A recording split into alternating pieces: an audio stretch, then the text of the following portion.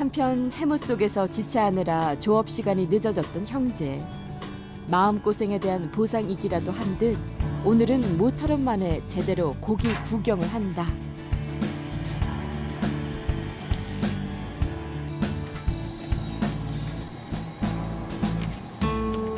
늘 텅텅 비어있던 형제의 그물이 오늘은 제법 생선들로 채워졌다.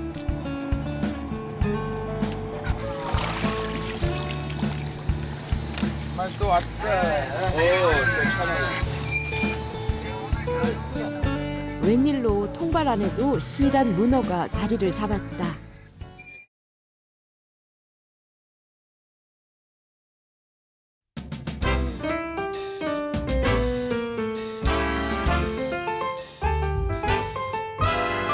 동해안을 따라 자리 잡은 경상북도 영덕군. 대게와 청어로 유명한 곳이다.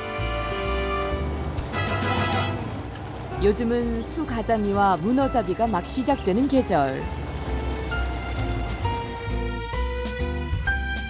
준호 씨와 준영 씨 형제도 며칠 전 넣어뒀던 문어 통발을 수거하기 위해 바다로 나왔다.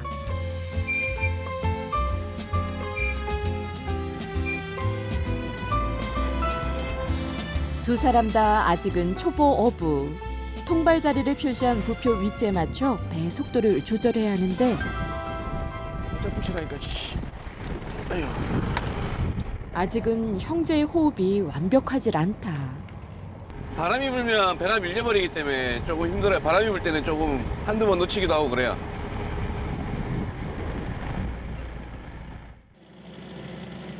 어부 경력 2년 차인 선장 준영 씨. 동생을 따라 합류한 1년 차 선원 준호 씨.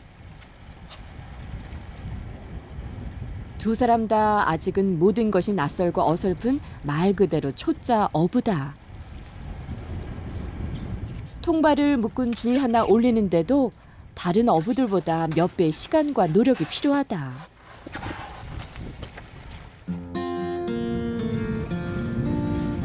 이 줄 하나에 메어둔 통발은 45개 정도.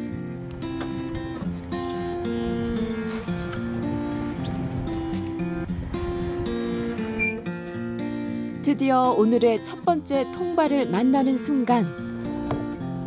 그런데 첫 방부터 헛방이다. 기대와는 달리 텅텅 빈 채 올라오는 통발들.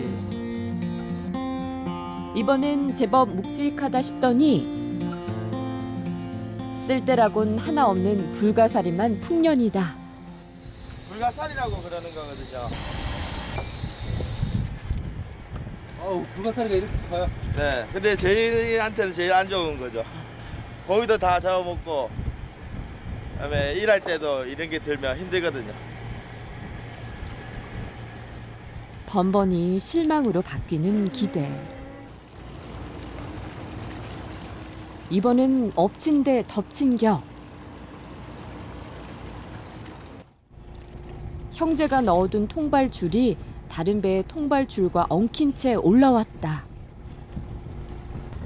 두 개 묶어버려, 준영아. 이 줄, 이 줄, 이 줄. 이네? 아니, 이거 끝털이하고 저 끝털이, 어, 묶을 수 있으면 묶어버려. 정해진 어장이 따로 없다 보니 평소 문어가 많이 잡히는 곳에 여러 배들이 한꺼번에 투망해 생기는 일이다. 쭉 올라온 게 아니네요. 네. 한 번에 내 올라올 때도 있고, 지금 거의 이제 문어가 많이 잡힐 때여서 통발이 망자를 많이 해요, 배, 배마다. 몇천 개씩. 그러니까, 문어도 잡힌 데는 또 자, 가는데, 마- 잘 가는데 많이 잡힌 데도 있거든요. 이렇게 암초 밑이나 이렇게 밑에 물 밑에 짬이 있는 거. 그런 것들에 문어 많이 살기 때문에 그쪽으로 망자들 추방이 많이 되죠. 그러다 보면 이렇게 이렇게 망자가 서로 이렇게 올라가서 이렇게 한참 해야 되는 경우가.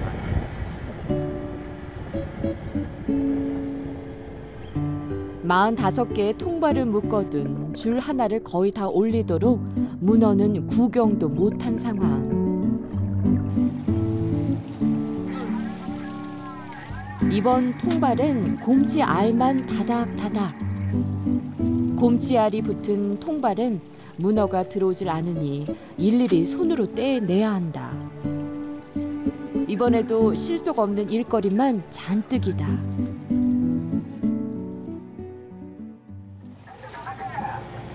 많이 왔다. 드디어 오늘의 첫 수확. 조업 두 시간 만에 만난 눈물 나게 반가운 문어다. 어, 물역수 찼다. 아, 물. 어, 시원해. 아, 지금 문어 죽는다. 냉수대가 들어와가지고 물이 엄청 찼거든요. 문어가 차온 것도 좋아한데 또 너무 차워도 문어가 많이 안 죽여요.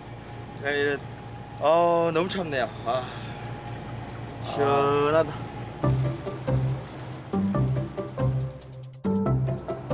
세시간여의 성과 없는 아침 조업을 마치고 육지로 향하는 길. 선장인 준영 씨가 갑자기 형 준호 씨를 찾는다.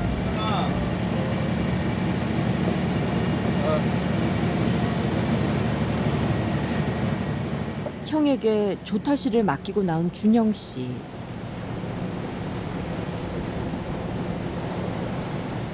그런데 얼굴빛이 영 좋질 않다. 왜 그래요? 아, 멀미 좀 날라요. 네? 멀미가 좀 날라요. 그러니까. 멀미요? 업도 멀미를 해요? 어, 뭐, 안 한 사람이 많은데, 국가다 멀미한 사람도 있다는데, 저는 멀미 좀 심하게 해가지고, 어, 지금은 좀 덜한데, 좀 많이, 날이 많이 이럴 때는, 오마이트도 하고 막, 그거만 이제, 힘들 때는 이제 형이 가는 길에는 가기만 되니까, 이제 형이 좀 하라고. 뭘 그래? 뭘 그랬대?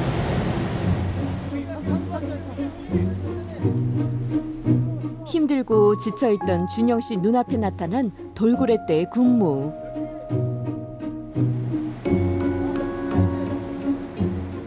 이곳 영덕에서 나고 자란 형제지만 두 사람에게도 오늘 같은 돌고래 쇼 구경은 흔치 않은 경험이다.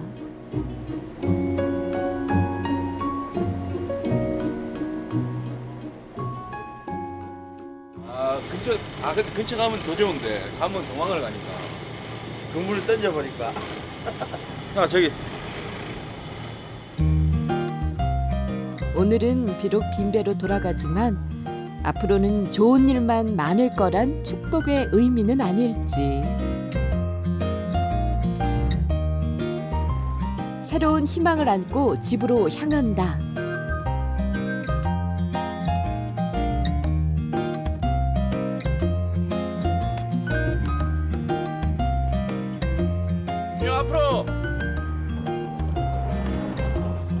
주행보다 주차가 더 어려운 건 차나 배나 마찬가지. 초보 선장에겐 늘 선원의 도움이 절실하다.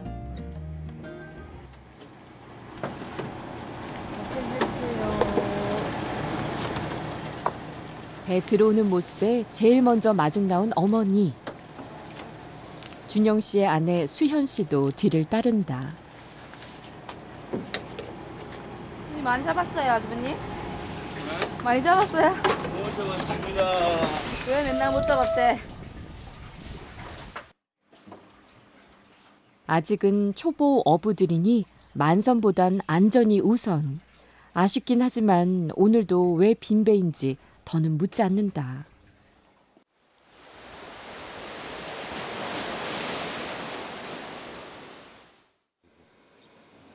잠시 뒤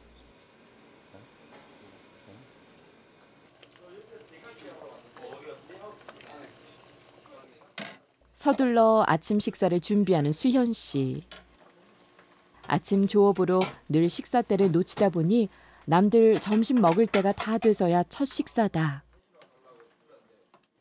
아침에 허기 지니까 저희 집에서는 아침이 제일 중요해요. 아침이요? 네. 왜요? 이제 빈속에 배 나갔다가 들어오니까 아침을 제일 잘 먹어요. 아침에 나가실 때만 따로 챙겨 주시는 건데. 멀미를 해가지고 아침에 아무것도 못 먹어요. 뱃사람답지 않게 뱃멀미에 시달리는 남편 처지를 누구보다 잘 아는 수연 씨.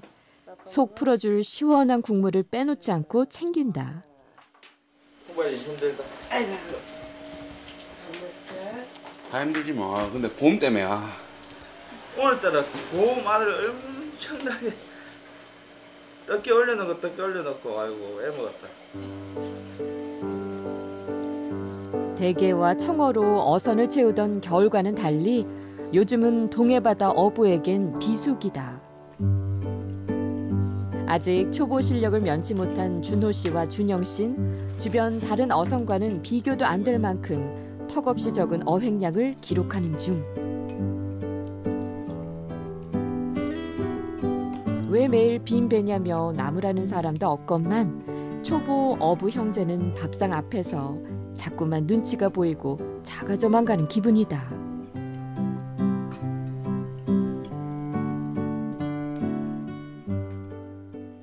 이거 가장 찢어 먹으면 끈적끈적한 게 달라붙어가 손베리거든요. 그러니까 웬만하면 제가 손을 베린 김에 맨날 까주고 있어요. 뜯어주고. 뭐 집사람이 와이프, 와이프가 까를 엄청 좋아해.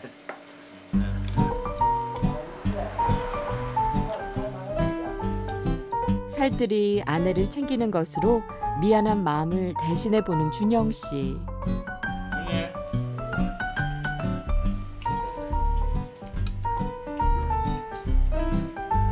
이럴 때 준호 씨라고 가만히 있을 수 있나? 아직 미혼인 준호 씨의 공략 대상은 어머니다.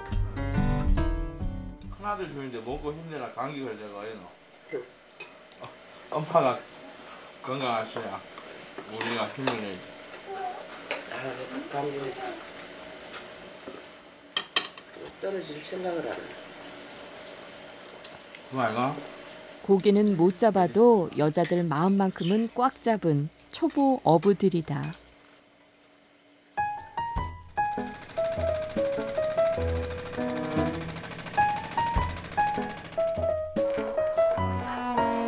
오후 조업을 위해 선착장 앞 어장막을 찾은 가족들.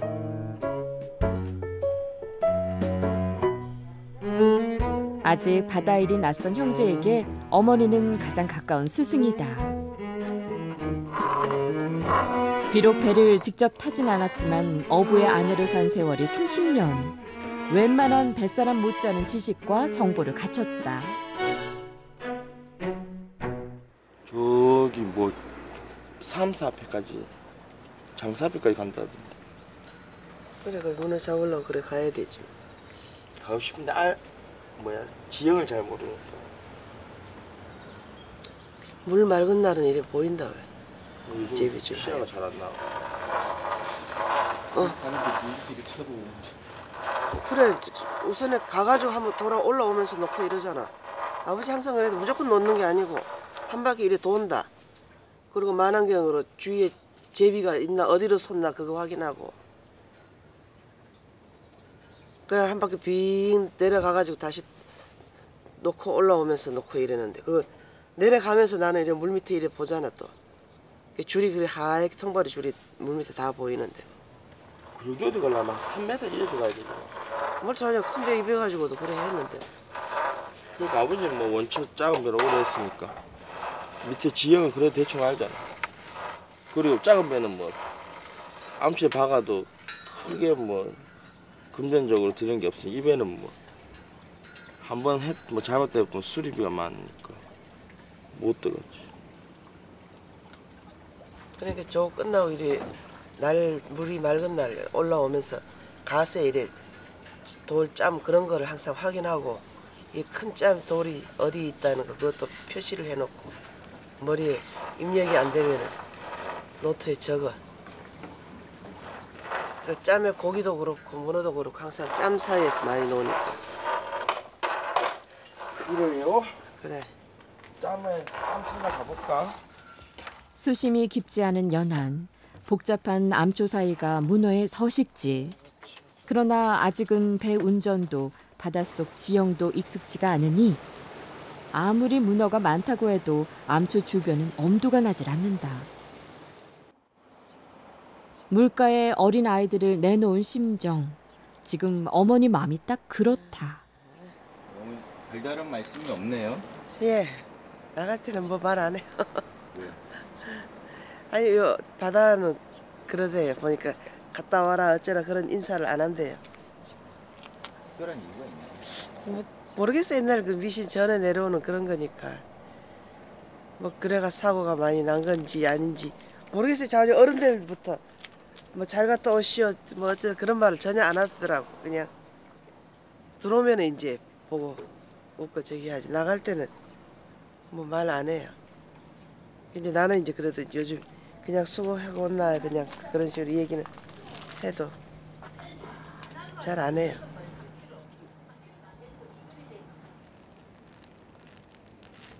아들들이 무사히 땅을 밟는 순간까지 어머니의 노심초사는 계속될 것이다.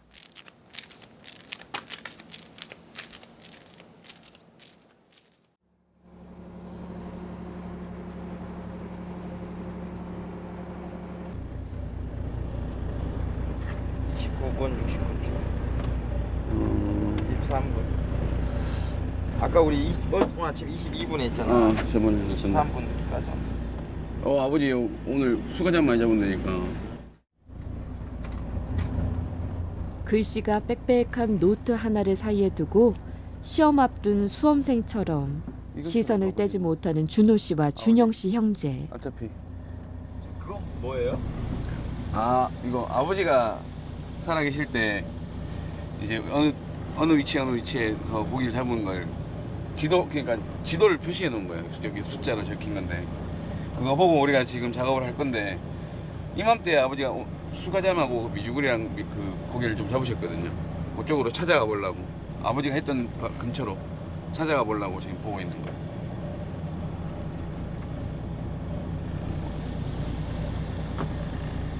보면 좀 도움이 돼요?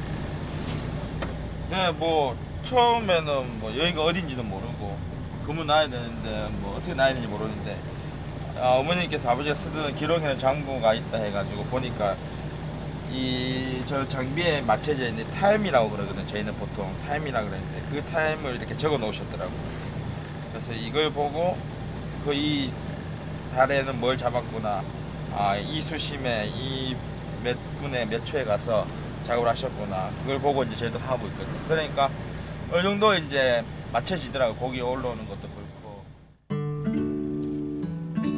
방향조차 가늠하기 힘든 망망대해에서 아버지의 노트는 형제가 기댈 수 있는 유일한 나침반이자 설명서였다. 어느 쪽으로 얼마나 가야 할지 결정조차 할 수 없었던 막막함과 두려움. 아버지는 아들들에게 닥칠 이 상황을 예견이라도 하신 것처럼 꼼꼼하게 바다 위 좌표를 기록해 두셨다. 그리고 오늘 형제는 아버지의 노트를 지도 삼아 아버지가 그랬듯 자신들의 희망을 담아 그물을 내린다. 21분 55, 29분 48, 106m. 됐다. 졌나? 어, 다 줬다. 아, 같은 어부 입장에서 굳이 이렇게까지 해야 될 필요도 있나 싶을 정도인데 그래도 이게 있어가지고 도움이 많이 됐거든요. 그래서 저희도 아주 중요한 것 같아 이게 저희한테. 중요하지. 뭐 우리가 남들이 봐서는 뭐 아무것도 아니고 그냥 숫자에 적어놓은 것 같지만 그러니까 우리한테는 저- 이게 자, 그거다 재산이다. 이게 어느 우리가 일일이 다 기억할 수는 없으니까. 출하 출가 되겠지. 영덕 바닷가 가난한 집에서 태어난 아버진 10대 시절부터 평생을 어부로 일했다. 두 아들에게만큼은 가난을 물려주지 않겠다는 일념으로 부지런하고 성실하게 바다 일을 하며 자식들을 키우고 살림을 늘려왔다. 아버지가 형제들 형제분들이 많으셔가지고 학교도 솔직히 잘 못 나오셨다 들었거든요. 근데 이렇게 글도 진짜 반듯하게 잘 적으셨고 이렇게 기록한다는 것도 참 멋지신 것 같고 또 배도 내 살같이 정말 아끼셨어요. 깨끗하게 항상 닦고 들어가서 확인하고 직접 일일이 손보고 만지고 정비하고 그러니까 참 열정도 대단한 것 같고 참 2년 3개월 전 갑작스런 사고로 아버지가 세상을 뜨시고 남편과 유난히 금술 좋던 어머닌 우울증까지 올 만큼 힘들어하셨다. 이런 어머니를 위해 해병대 중사였던 준영 씨가 아버지 뒤를 잇겠다며 고향 바다로 돌아왔고 중장비 기사로 일하던 준호 씨도 뒤이어 합류했다.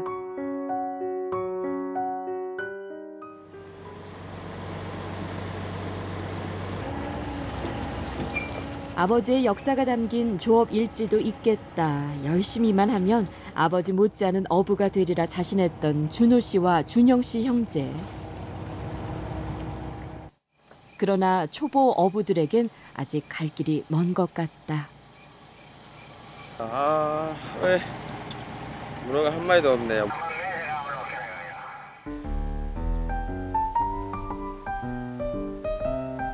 한편 준영 씨가 형과 함께 바다에 나간 시간.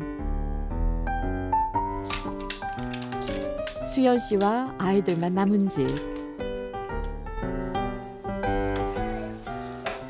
준영 씨가 조업 나가면 혼자 아이들 다 챙기는 거예요? 네, 어쩔 수 없죠. 저돈 벌어 가면 저 혼자 애기들 봐야 되죠. 아 힘드세요? 힘들죠. 아, 다 나이대가 고만고만하다 보니까 많이 힘들죠. 어린이집에서 돌아온 첫째, 둘째까지 새 아이 돌보기는 온전히 수연 씨만의 몫이다. 밥 먹자. 주하나. 밥 먹자. 오세요. 이제 7살, 4살, 2살. 세 아이가 모두 엄마의 손길을 한창 필요로 하는 나이. 혼자서 먹이고 입히고 씻기다 보면 하루가 어떻게 갔는지도 모를 지경이다. 입 가리고. 입 가리고. 입 가리. 처음에 들어왔을 때는 많이 힘들어가지고 뭐 되실라 생각할 뭐 그럴 겨도 없이 되게 다투고 이런 게 많아서 그랬는데 지금은 나가면 항상 뭐 어떤 일이 안 생기고 저희 가족들한테 다시 돌아올 수 있게끔 해달라는 그런 생각 많이 하죠. 한 일, 한 몇 개월 정도 안 됐는데 이제 젊은 나이에 들어와서 배를 타신 분이 계시, 계셨거든요. 근데 그분이 큰 배가 와가지고 받아서 바로 직사하셔서 돌아가셨었어요. 그런 것도 바로 같은 동네에서 겪다 보니까 저희 신랑이 항상 걱정되죠. 날씨 안 좋을 때 연락이 안 되면 걱정되고 그렇죠. 어부의 아내로 산 지 2년. 이젠 힘들단 투정보단 남편에 대한 걱정이 먼저다.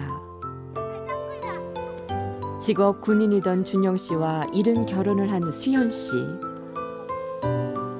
어부의 아내로 사는 건 단 한 번도 생각해 본 적 없었다. 군인을 그만두고 고향으로 내려가 어부가 되겠다는 남편의 선언에 무작정 찬성만 할 수는 없었던 것이 사실. 그러나 홀로 되신 어머니를 모시며 아버지의 뒤를 잇겠다는 남편의 뜻을 말릴 수가 없었다. 네 여기 해수욕장이 아니고 애들은 모래 놀이터로 알고 있어요. 엄마 또 재밌는 거 있다. 주말에는 거진 여기에서 엄마 보자. 좀 신기한 거 두 개 있다. 그냥 뭐 이렇게 모래 가지고 놀고 뭐 수영하고 뭐 여름에는 거진 수영하고 놀고 물에서 놀고 겨울에는 겨울에는 뭐 눈 같은 거 만지고 놀고 뭐 거의 그런 거죠 물고기 잡고 개구리 잡고 뭐 그런 거밖에 하는 게 없죠. 혼자서 아이 셋 돌보기가 결코 녹록지 않지만 바다에 나가 있는 동안은 집 걱정 시키지 않는 게 최고의 내조라 믿는다. 주하나, 아빠 배는 어디 있을까? 저기 저기 있을까? 오늘은 문어를 많이 잡았을까? 고기를 많이 잡았을까? 몰라. 몰라. 엄마 많이 잡았어야지, 아빠. 많이 잡았어. 많이 잡았어? 주환이만한 문어를 잡아야 될 텐데. 그지? 나보다 제일 큰 문어 잡아야 돼. 너보다 더 큰 문어 잡아야 돼? 응. 아빠 뭐 잡아야 되지, 주환아? 어, 사, 고래. 맞아, 고래 잡아야 돼. 고래 잡아야 돼. 어, 아빠 고래 잡아야 되지. 근데 고래 잡으려면 더 멀리 가야 되네. 어, 아빠 그래서 멀리 가서 열심히 일하고 있어. 두꺼봐, 두꺼봐, 헌집 줄게, 새집 다오. 이 노래 모르지? 엄마 옛날에 바닷가에 살 때 이 노래 부르면서 집 지었었어. 그래? 그 다음 또 뭐 했는데? 옛날 노래, 옛날 노래. 옛날 노래? 자.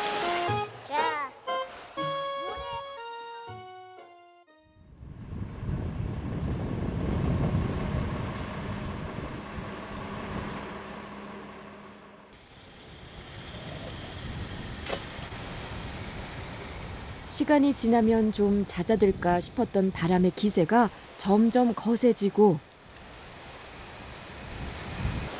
파도도 높아져만 가는 아침. 일찍 바다로 나갔던 어선들도 선착장으로 서둘러 돌아오는 상황. 오늘은 아무래도 날씨가 심상치 않을 모양이다. 이렇게 바람이 불고 파도 거세지만 망자도 잘 안 보이고 위험하고 그래서 그러면 안 노니만 못하니까 날 좋을 때 이렇게 놔야 되니까 지금 바람이 지금 불어오기 시작해서 나가면 바람 만날 것 같아가지고 나기가 좀 힘들 것 같아요. 지금 배들마다 다 쫓겨 들어오고 있는.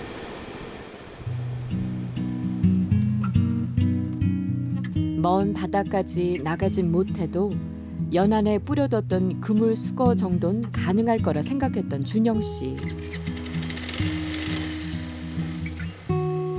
초보 어부로선 바다로 나갈 엄두가 나지 않는 날씨에 오늘 조업은 포기다.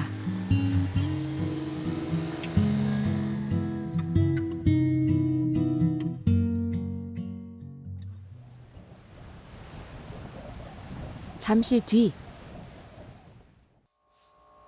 부력이 걸쳐 가지고 어, 그렇게 처음 할 거다. 준영 씨 오늘 뭐 놀러 가요? 어? 아 오늘 배 정비 좀 하려고요.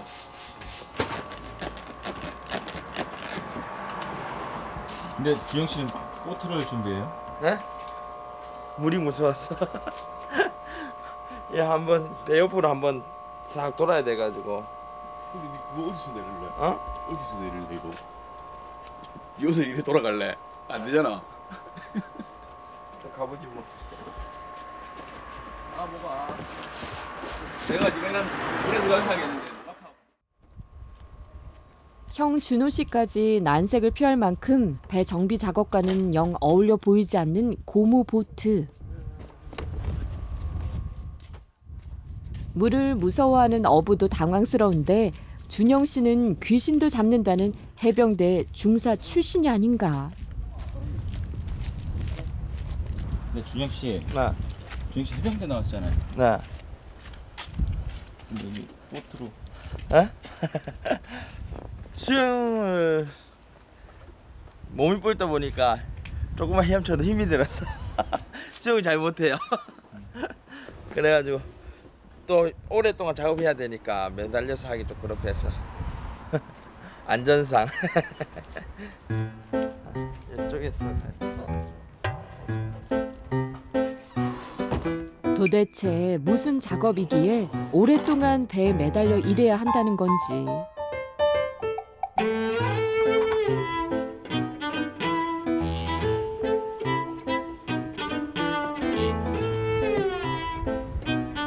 위태위태하게 고무 보트를 꽉 채운 넉넉한 체격의 준영 씨가 자신의 배로 향하고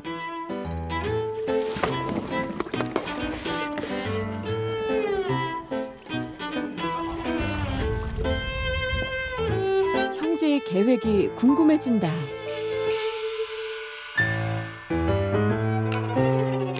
그냥 부럭다이 밟고 해라. 부럭다이 밟고 하는 거랑 그래 하는 거랑 뭐가 다르노? 야는 이게 안 밟아진다니까. 왜 안 밟아져? 몸이 커가지고. 어이 어이 저기는. 형 해봐 해봐.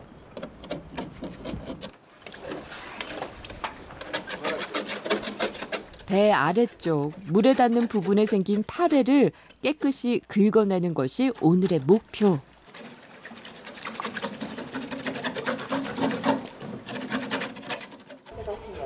그게 있으면 좀 배 문제가 좀 생기나요? 아 다른 건 아니고 배 속도가 제 속도가 안 나오고 제 속도가 안 나오다 보니까 기름을 많이 먹어요. 예, 제일 큰 게 그 기름 많이 먹고 속도가 안 나오는 거 그 문제고 일단 또 외관상으로도 붙어 있으면 보기가 지저분해 보이니까. 아버지가 타셨던 이 배는 형제가 어부일을 결심하는데 결정적 계기가 됐다.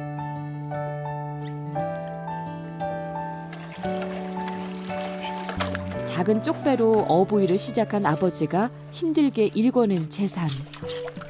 아버지는 이 배를 몸처럼 아끼셨다.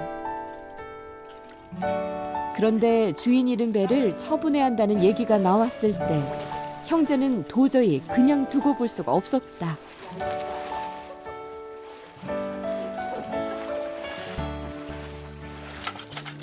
저 저거 누구 거예요? 우리 아들내미가. 아유, 해병대 나와가지고 수영도 못해가지고 저 매달려가지고 저러 있으니 너무 웃기네. 줄 매달고, 아이고. 멋지게 점수해가지고 착착 해야 되는 거 아니야? 아주버님은 저기 매달려서 잘 하시는구만은. 나는 못 매달린다니까. 그노 접고 왔다 갔다 하는데 시간 다 가겠다. 앞에는 못한다. 내가 하자. 사나이 자존심을 건드리는 아내의 한마디. 이럴수록 더욱 멋지게 실력 발휘를 하고 싶은 준영 씨. 그런데 모든 일이 마음 같질 않다.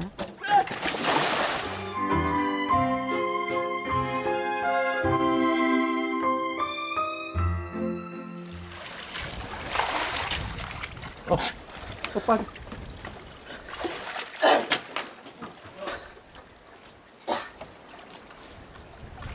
일주가 올라 올려주나?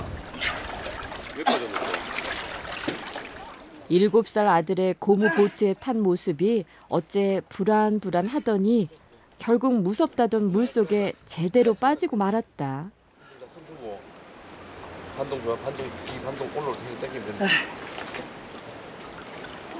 말은 쉬운데 몸이 따라주질 않는다. 반동 잘, 잘, 잘 내리고. 매달리지 말고 내한테 매달리고 왜 하라고 반동 줘라니까 힘이 없어.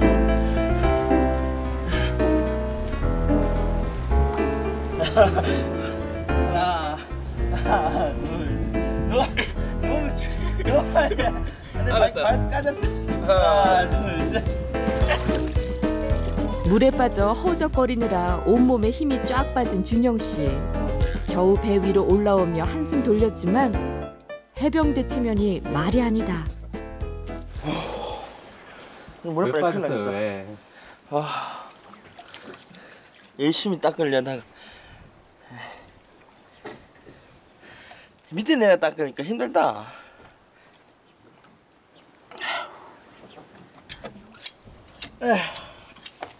아, 발에 피도 나고. 말해? 신발을 왜 넣어? 벗었지. 어디다 벗어? 진짜 저 앞에. 빠지고 피나고. 아, 아, 배. 원래는 공장 정비소 이렇게 자동차 정비소처럼 그런 데 가서 정비를 하는데 시기가 지금 애매해가지고 그러니까 이 임시방편으로 지금 해놓고 또 한 한두 달 뒤에는 올라가야 되는데 그때까지 있을래 너무 많이 지저분해가지고 한다고 근데 아버지가 또 이렇게 하셨다 그러더라고요 배를 이제 아끼고 막 그런 관리하고 이런 게 잘하셔가지고 그래 저 형은 뭐 아버지 따라 몇 번 해봤는데 저는 처음이어가지고 너무 지저분해서 했는데 아 대단한 것 같아 어, 힘들다 힘들어 어부 일을 시작할 때만 해도 이게 뭐 그리 어려울까 자신만만했었다. 때 맞춰 바다에만 나가면 널린 게 고기니 이보다 쉬운 일이 또 있을까 얕잡아도 봤었다. 그런데 알면 알수록 어렵고 하면 할수록 힘든 어부 일에 평생 바다를 지킨 아버지가 새삼 존경스러워진다.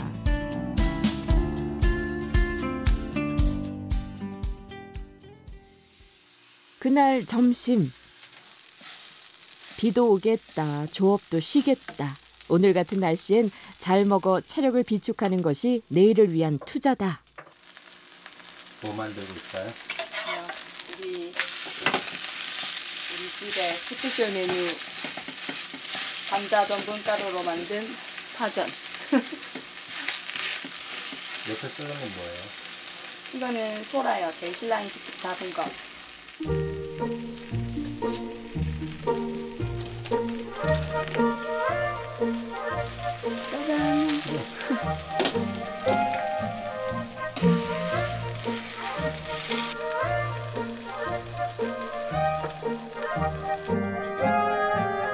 웬만한 한정식집 상차림이 부럽지 않은 푸짐한 밥상 간간히 잡아왔던 문어며 가자미까지 아낌없이 상에 올랐다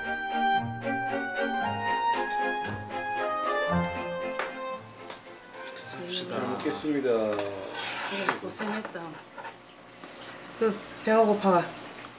시간이 아마 한 시간 넘었는데. 시장 뺀가 이거? 잘못 안 됐습니다. 다른 사람들은 다 문어 엄청 잡아오더니 왜, 일단 왜 당신 왜 우리 똥바리에는 왜 안 잡히?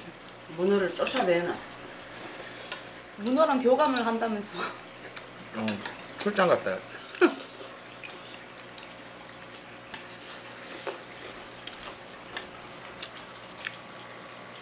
좀 대왕 문어 걸리라고 좀 하지. 기도를 많이 해야지. 항상 대왕 문을 기대를 하고 가는데 안 걸잖아. 기도를 해서 대왕 문어를 만날 수 있다면 밤을 새서라도 하고 싶은 심정이다 내일의 희망을 안고 밥이나 든든히 먹으라고 고생 많이 했는데. 그것도 하루 이틀이지. 그래도 바다 사나이는 근데 오늘- 자꾸 내일 내일 하는 희망을 안고 나가는. 공말만 아니었으면 일찍 끝났다. 공말 때문에 엄청 그 내일의 희망을 꿈꾸며 오늘의 아쉬움을 가슴에 묻는다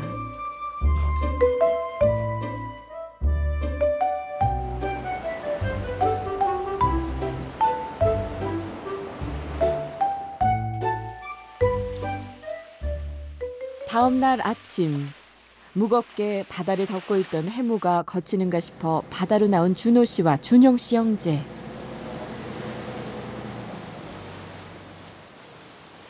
그런데 시간이 지날수록 해무의 위세가 점점 거세져만 간다.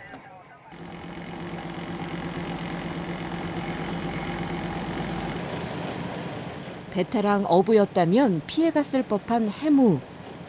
그러나 둘 다 초보다 보니 꼼짝없이 해무 안에 갇혀버렸다. 안개가 껴갖고 위험 요소 있을까요? 혹시나 싶어서 잘 안 보니 안 보이니까 앞에서 봐주려고 많이 했는데. 아, 다른 배들이 오는지 안 오는지 그런 거 네. 그러니까 좀 뒤쪽에서는 좀 거리가 있으니까 좀 더 확실하게 보려고.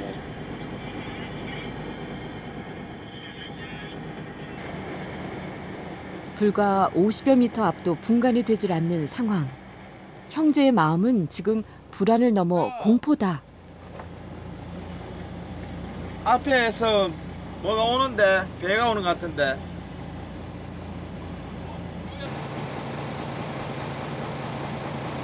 몇 마일 정도? 몇 마일 정도?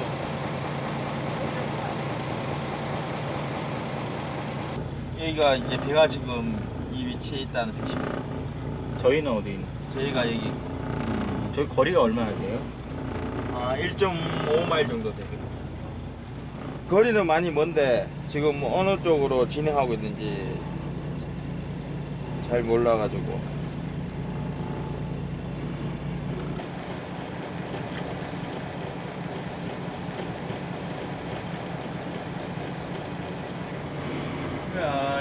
나오면 되는데. 어, 아까 안개 거치 거쳐가 나와. 딴 거보다도 위험하니까. 움직여도 위험하지만 일이 뛰어나도 위험하단 말이야. 뭐 와서 박아 보니까 우리가 가만히 있어도 와서 박아 버리니까. 안개 너머 배의 진행 방향을 파악하기 전까진 불안함 속에 꼼짝없이 기다려야 하는 상황. 있어 봐. 발에. 음.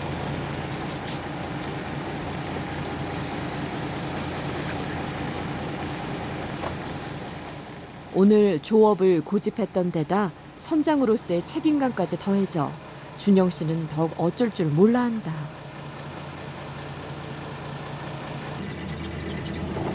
야. 상선 지나갔다. 시야도 조금 나오네. 놓자. 소망하자. 여기로. 다행히 상선의 진행 방향은 형제의 배와는 다른 쪽.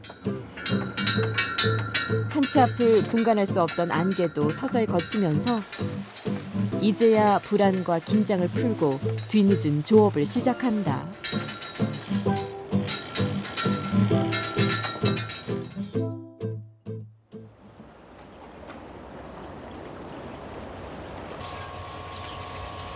아들들이 배에 오르고 나면 늘 바다에서 시선을 떼지 못하는 어머니. 오늘은 불안감이 더 크다. 안개가 많이 꼈는데 애들이 아직 안 들어오네.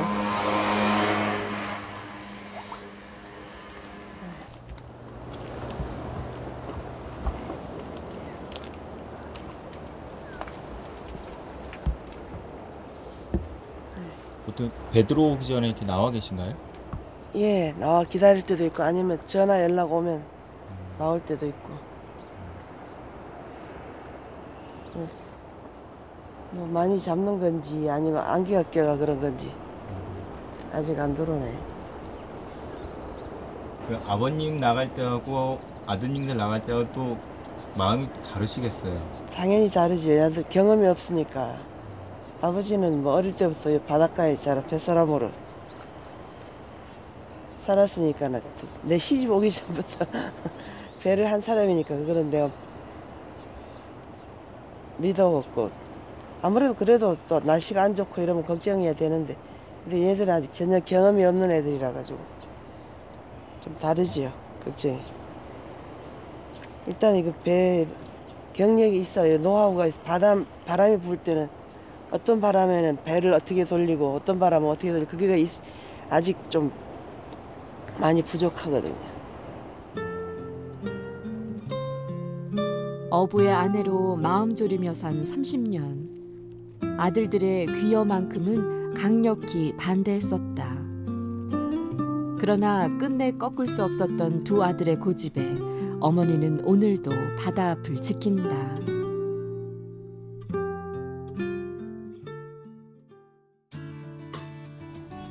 한편 해무 속에서 지체하느라 조업 시간이 늦어졌던 형제. 마음고생에 대한 보상이기라도 한 듯 오늘은 모처럼 만에 제대로 고기 구경을 한다.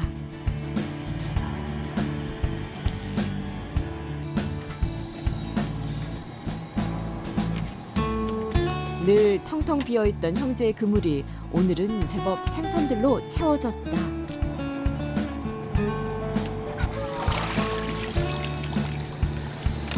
또 왔다. 오, 웬일로 통발 안에도 실한 문어가 자리를 잡았다. 에이, 짝다리. 다리 뻗- 끝이 원래 좀 굵게 가- 좀 두께가 다리 두께가 이렇게 쭉 길게 쭉 나가야 되는데 얘는 하나가 조금 갑자기 쫙 얇아지잖아요. 이게 좀 다리가 짧아서 새로 재생된 거예요. 지가 재- 재생을 나가거든요. 다시 자란 건데. 아, 딱 아깝다.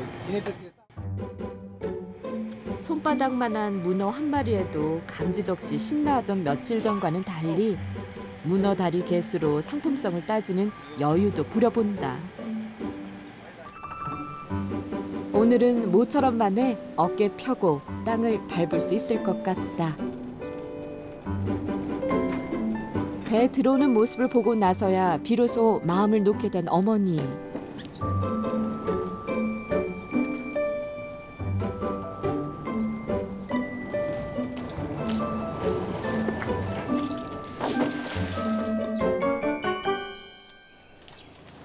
안개 깨가 고생들 했지. 오늘 같은 날은 배가 찼던 비었던 무사 귀환만으로도 무조건 반가운데 기특하게도 어창까지 채워 돌아왔다.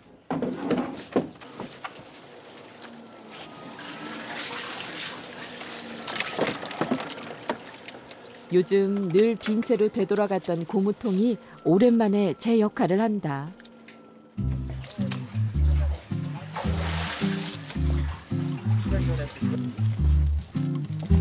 멀쩡한 직업을 포기하고 어부를 택했던 아들들. 요즘 같아선 먹고나 살까 내심 걱정이 많았던 어머니. 모처럼 만에 발걸음이 가볍다.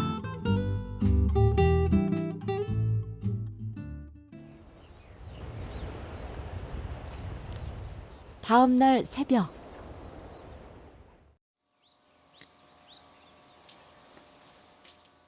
지난 3일 동안 잡아 보관해왔던 물고기들을 트럭에 수조로 옮겨 싣는 가족들. 35, 34. 근처 강구항에 수협 어판장 경매 내다 팔려는 것인데 요즘 고기잡이가 영 시원치 않다 보니 며칠을 모아서야 경매에 내놓을 만한 양을 겨우 마련했다.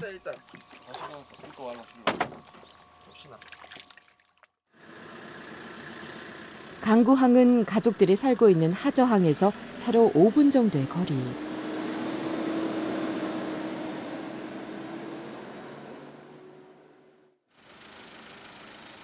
경매에서 제일 중요한 건 최대한 생선의 선도를 유지하는 일.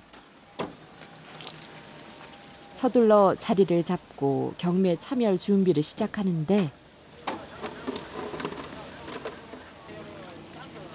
어부일 뿐만 아니라 이런 판매 절차 역시 아들들에겐 낯선 경험. 아직은 어머니가 챙기고 지시하며 아들들을 가르쳐야 한다. 하루든 서너든 이렇게 경매하러요. 강구 수협 업판장이거든요. 그 다섯 시 새벽 5시부터 8시까지인가 그 입찰을 하거든요. 입찰은 며칠에 한 번씩 하세요? 매일 올 때도 있고 그날 그날 물량 보기 따라 안 그러면 집에서 달아줄 때도 있고 오늘 모처럼 나와봤어요. 요즘은 준영 씨네뿐만 아니라 동해안 어부들 모두에게 비수기. 대게와 청어가 한창이던 겨울에 비하면 어판장 분위기 역시 썰렁하기 그지없다.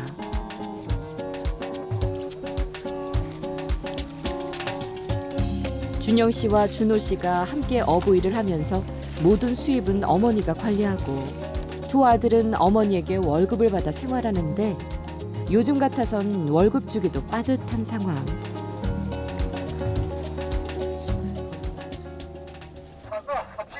오랜만에 경매 참여니 얼마나 받을 수 있을지 기대 반 걱정 반이다.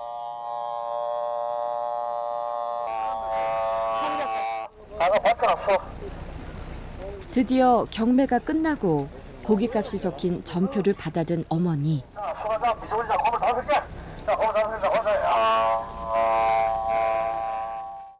그런데 표정이 밝지가 않다.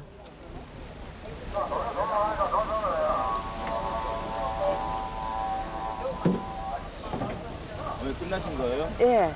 잘 받으셨어요? 아니요 오늘 영 어가가 안 좋네. 상인이 또 많이 안 나왔어요. 오늘 수요일이죠. 얼마? 모르겠어요 한 20만 원 되는지 이따 전표 봐야 되죠. 얼마 정도 예상하십니까? 그래도 한 사, 반밖에 못 나온 한 40만 원은 나와야 되는데. 석사 너무 어. 34kg을 경매에 받은 돈이 20만 원 정도. 두 아들의 인건비는커녕 배 기름값도 안 되는 금액이다. 일곱 식구의 생계가 걸린 일이니 오랜만에 쥐어보는 현금에도 마음이 편치 않다.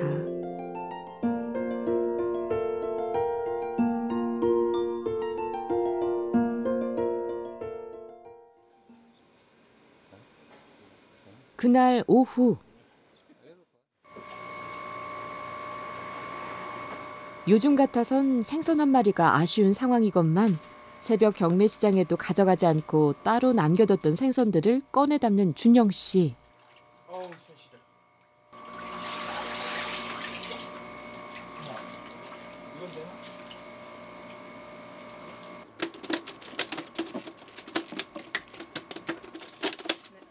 맛과 영양이 뛰어나 귀한 대접을 받는 붉은 해상과 아직도 살아서 팔딱이는 싱싱한 횟감까지 친구들 오니까 어때? 오랜만에 보는데. 고치 한 4년 됐나? 어, 나 강화도 갔다 오면서 얘가 못 본. 계속 보자 보자 했는데 내 일이 바빠가지고 못 나갔잖아. 어, 여기 또 시간 내가 다들 맞춰왔네. 음, 이제 자주 자주 보면 되지. 어우 잘 쏘는데. 어? 언제 배웠어? 배우기는 잘하는데? 살림 노하우. 저번 선자는 같은데. 언제 그래 배웠대? 배운 게 아니고 내가 쳐다봤는데 칼질 좀 하셔. 빨리 빨리 안 하나. 기다리고 있잖아 지금 손이. 지금은 철이 아닌 대게 대신 홍게까지 사다 찌며 손님 맞을 준비를 끝냈다.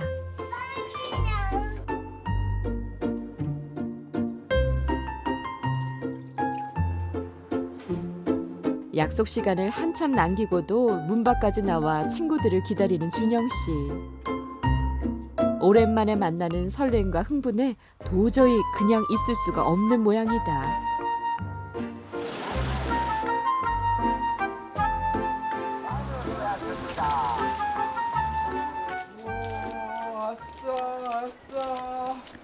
오랜만이다. 오랜만이다. 오랜만이다. 잘 지냈나? 똑같네. 하루에 얼마 있던데? 완전 영감지 영감지. 아니 똑같다 임마. 준영 씨의 해병대 시절 동기들이 다. 어머니 절, 절 받으세요 어머니. 네. 어머니 건강하세요 어머니. 고마워요. 이제 자주 앞으로 자주 찾아뵐게요. 그래 놀러 자주. 네. 그리고 까먹실만 하면 들리고 그래가지고.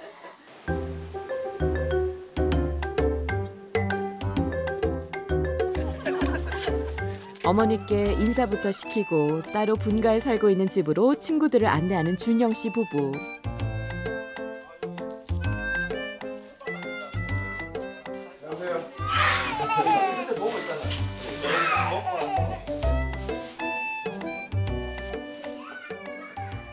준현아. 차를 날 테니까 좀, 아, 그, 아, 조금만 기다려라. 조금만 기다려.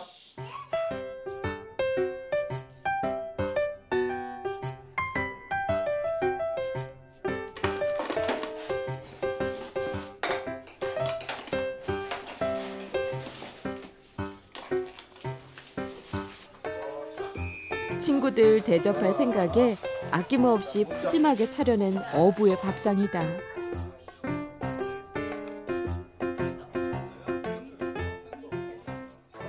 대기할 때는 와서 꼭 되게 많이 먹을게. 그래 그래 되게 자주 와야 되겠다. 내가 되게 많이 줄게 되게 자주 와야지 그러면. 그러면 재수 씨가 되게 싫어하겠지? 아니요. 되게 좋아하지. 아 힘들더라. 회사 그만둘 거라. 자 입맛대로 드세요 막걸리 먹어서 막걸리 먹고 어 막걸리? 먹고 어? 그래 아무튼 보고 싶었는데 이렇게 시간 내줘 아 고맙고 아무튼 앞으로 우리 우정 배치 말자 우리 우정을 위하여 위하여 해병대 부사관으로 입대하여 20대 시절을 함께했던 동기들.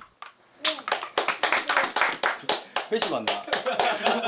한간더 음 이거 말고 이게 내가 직접 잡은 거니까 한번 먹어봐라 어. 다 자연산이죠 어, 와이프하고 내하고 직접 준비를 했으니까 해삼. 제수 먹을게요. 네. 해삼은 직접 잡은 거야. 해삼도 직접 잡은 거야 어. 나. 아 그물에 걸려 음. 누나. 섞었어? 까까머리에 군복을 입고 만났던 친구들이지만 지금은 한 명을 제외하곤 모두가 저녁해 다른 길을 가고 있다. 하나 맛있다. 확실히 회가 우리 친구가 잡아서 그런지 더 맛있네. 그래 내가 원래 좋은 거밖에 안 잡는다. 너거 위해서 내가 좋은 걸로 싱싱한 걸로 좀 맛있어도 어. 너무 맛있네. 아, 뭐. 어, 뭐, 왜 안 먹노? 우리 와이프 줄까? 어, 아니 나는 괜찮아? 들어간대. 친구들은 준영 씨가 끝까지 군에 남을 거라 생각했었다. 군대에서 친구들 뭐 제가 아까 뭐 일곱 명 다 같이 들어갔지만 챙기기 다 바빴거든요. 잠 많아, 귀찮아해, 몰라. 몰라. 깨우고 끌어가고 가르쳐 주고 뭐 고생 많이 했는데 맞, 맞긴 맞다. 지금 이제 알아서 자기가 이제 가정을 이렇게 지키고 나가고 있는 게 뭐 자랑스럽기도 하고 뿌듯하기도 하고 좀 그렇네요. 뭐 나도 모르게 해서 이렇게 쓰다듬고 있는 그때가 모르겠는데 이제 또 그 전형 얘기 나왔을 때는 솔직히 말해서 준예가 그 아버지 그 일하고 그다음에 어머니랑 그 가족 얘기하니까 더 이상 할말 없었는 거지. 내 욕심에는 솔직히 군대 있었길 바랬는 거지. 할 줄 아는데 뭐든 최선을 다하지 않았다. 오랜만에 만남이지만 한 시절을 공유한 친구들이기에 얘기거리가 끊이질 않는다. 아 솔직히 있잖아 있잖아 그래도 그 아, 달리기지 달리기. 아, 겸손 빼줘야지 좀. 아, 또 재밌었다. 네, 얘기하니까 좀 어떠세요? 어, 옛날 생각 나고 한편은 또 돌아가고 싶기도 하고 진짜 서글프고 눈물 날라겠는데 옛날 생각하니까 진짜 돌아오시나? 아니. 아 근데 자꾸. 아, 아무튼 이래 동기들이 와가지고 옛날 군대 얘기하니까 옛날 생각 나면서 기분이 좋네요. 아, 재밌는 것 같아. 맨 처음 전역 한다 했었을 때 좀 그랬다니까 막 물어보고 했었을 때 근데 다 중요해도 그랬고 주사위 여기서 다 그랬잖아. 솔직히 뭐 장기가 안 되고 진급도 안 된 상황이시면 괜찮았는데 그렇지. 다 된 상태에서 이제 계속 이제 군 생활을 계속 할 수 있는 여건이 됐는데 전역한다 이러니까 다들 이제 막 그렇잖아. 마지막에 그래도 어머니랑 요 재수 씨랑 가족들 때문에 여기 왔는 거지. 근데 지금 와서 보니까 이게 더 네 얼굴 좋아 보인다. 아까 아까 오토바이 타고 이렇게 인솔할 때 보니까 정말 행복. 인솔 오랜만에 들어. 이렇게, 이렇게 오는데 응. 신났더만. 그 내가 군대 생활 열심히 해가지고 내가 고기 인솔을 잘해서 고기 너무 많이 잡거든. 고기가 잘잘 잘. 막 잡히나? 아, 자 한잔 누가. 밤이 늦도록 준영 씨와 친구들의 술자리는 계속됐다.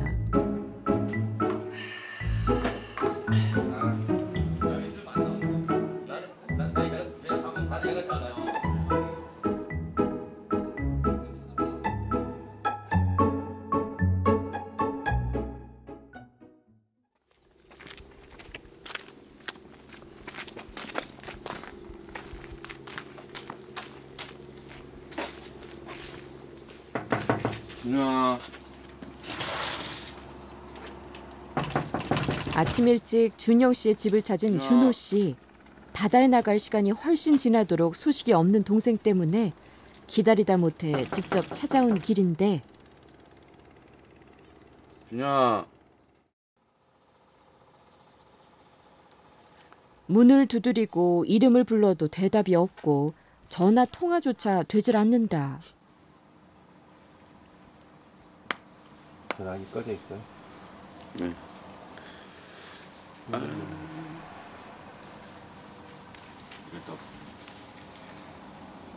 일단 기다려줘 집에 가서 기다려보면 안 되면 다시 깨워라 오든가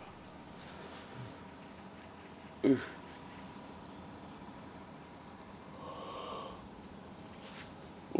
재수 씨가 있으니 함부로 문을 열 수도 없고 아직 어린 조카들이 있으니 큰 소리를 내는 것도 어려운 상황.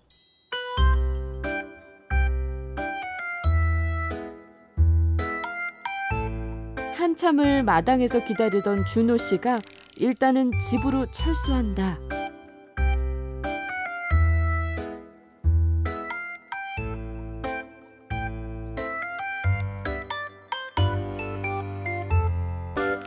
다른 배들은 모두 바다로 나간 시간, 덩그러니 홀로 남은 배. 참다 못한 어머니가 며느리 수연 씨에게 전화를 한다. 근데 아- 새벽에 어제 분명히 작업 나갈라 했는데 네가 안 깨웠나? 신랑이요? 아니 그래 신랑 작업 나갈라 했는데 네가 안 깨웠냐고. 아니요. 그럼 네가 그 깨워줘야 되지.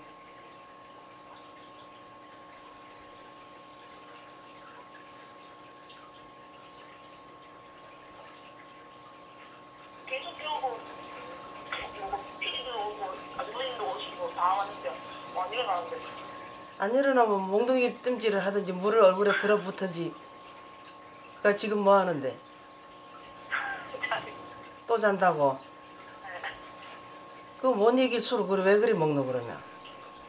내가 몽둥이 가지고 쫓아가 한대 줘 패고 싶어 내가 힘이 없어가 못 패겠다.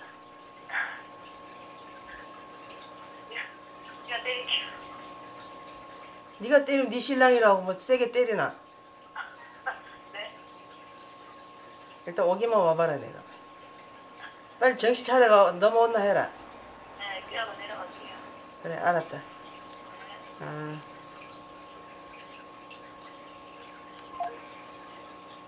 한창 혈기왕성한 나이니 이해해보자 생각하다가도 이런 무책임함을 더 이상은 두고 볼 수 없는 어머니.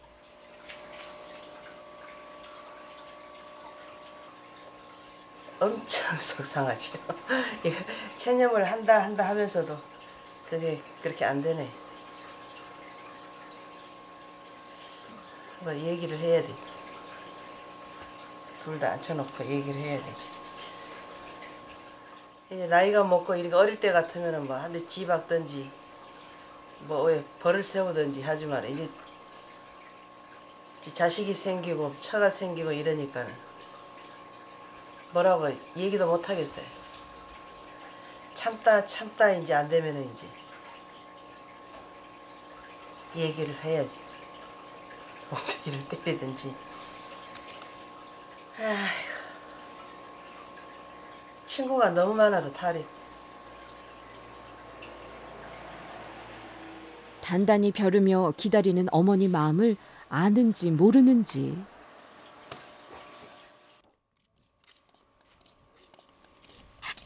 한참이 지나서야 준영 씨 부부가 어머니 집으로 들어선다.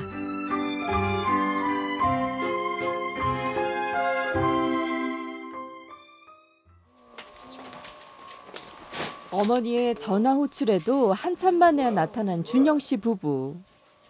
몽둥이만 있으면 뭐 몽둥이가 키워서도 저 패버렸으면 좋뭐 나는 원래 계획된 일상이었잖아. 무슨 계획된 이제 오늘 나갈라 했잖아. 오늘 알고 내일 나간다 그 말이야. 이거 어제 내일 나간다. 너 오늘 나간다고 형아 먼저 깨우라 이랬지. 아, 그 오늘 했어? 내가 착 맞췄었다. 원래 내일이고. 잘 놀고 있어. 그 술도 못 이기면서 무슨 술 먹는다고 저기를. 술 얼마 안 먹지. 안 먹었는데 왜못 일어나? 피곤해가지고 잤다 귀찮아. 줄 알고 깨워도 일하고 늦게는 진짜 저기 하는 문다 잠궈놓고. 그러니까 귀찮아. 뭐 이, 이런 식으로 해가지고 대도 안 한다 이래가지고.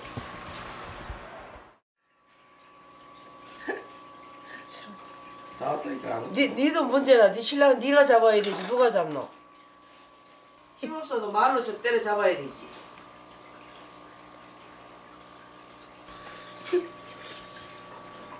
웃음이 나오나?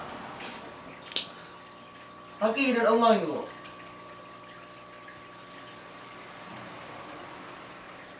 너희는 쌍둥이도 아닌데 왜 똑같이 행동을 하노? 유들유들하게 상황을 모면하려는 준영 씨 때문에 준호 씨에게까지 괜한 불똥이 튄다. 바다 사업은 그 이런 게 아니라고 그만큼 그 나이 아마 저기도 이제 좀 정신 좀 차리고 좀 깊게 생각을 하고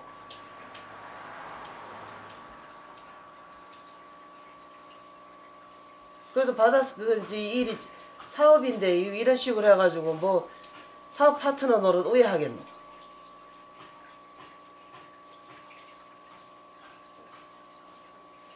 체계가 산만해가지고 그왜그못 일어나고 딴서 그 암만 나이 먹은 사람들도 그, 그만큼 마셔도 새벽까지 칼같이 일어나는데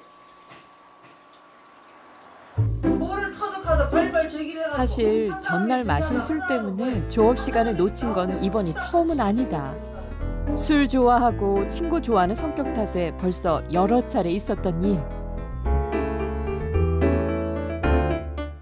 아들들의 정신이 번쩍 들도록 한 번은 제대로 혼을 내야겠다고 어머니는 지난 몇 달을 벼르셨다. 저 이제 좀 생각을 달리 해리. 자꾸 이래가 된 일이 아니고. 네, 밥 주십시오. 이 와중에도 넉살 좋게 밥을 찾는 준영 씨. 알겠다, 알았어요. 열심히 합시다.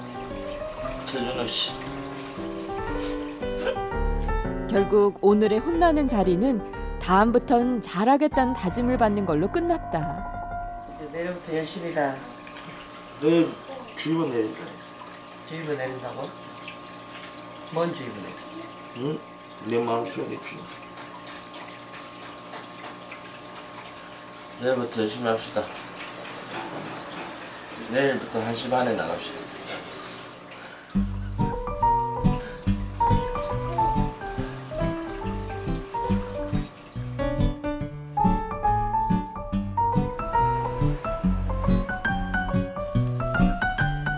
술 먹고 게으름 피운 아들 때문에 새벽부터 속상했던 어머니. 그래도 귀하고 아까운 자식 아닌가. 혹여 속이라도 버릴까봐 속풀이 음식을 준비하시고 잘못한 사람은 아들인데 애꿎은 며느리만 자꾸 눈치가 보인다. 신랑, 네 신랑이니까 네가 그걸 이제 깨우고 해야 되지. 이제 네, 네 담당인데. 저분께서 일어나란다고 일어나시면 좋은 안 일어나도 그건 네, 수- 네 방법이지. 그 일어나게끔 만들어야 되지. 뭘 어떻게 일어나? 꼬집든 때리든 뭐 아니면은 뭐 사랑을 주든 뭐뭐 깨워야 되지.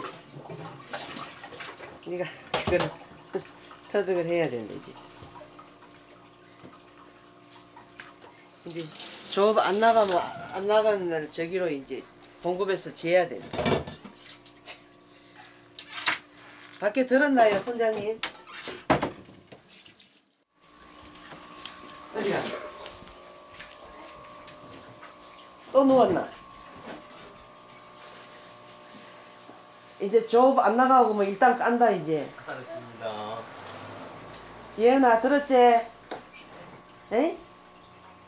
들었지? 네가 증인이다 말해야 된다. 에? 에, 하리.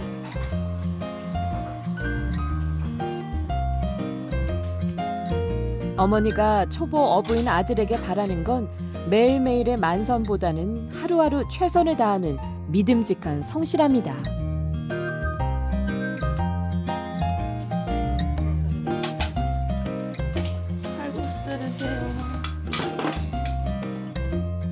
어머니가 준비한 속풀이 음식은 조개를 넣고 시원하게 끓여낸 칼국수.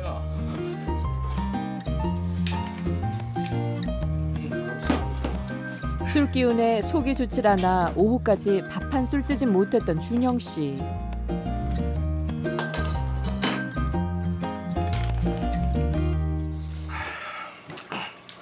뜨끈하고 시원한 국물을 마시고 나니 이제야 좀 살 것 같은 모양이다.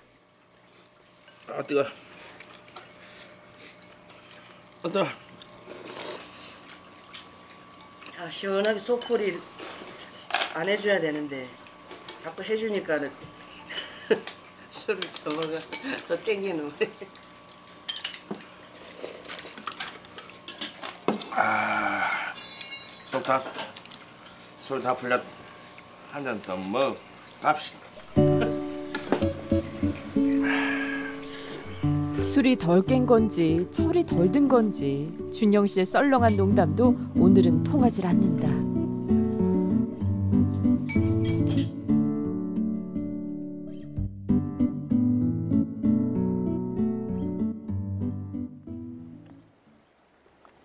잠시 뒤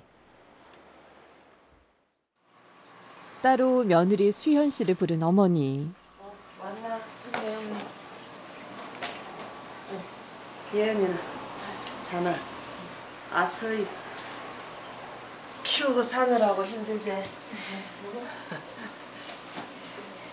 힘드는데 또 내가 또 힘든 얘기를 해야 되나. 비식이잖아. 기름값도 못 벌어오고 막 이럴 때가 있으니까.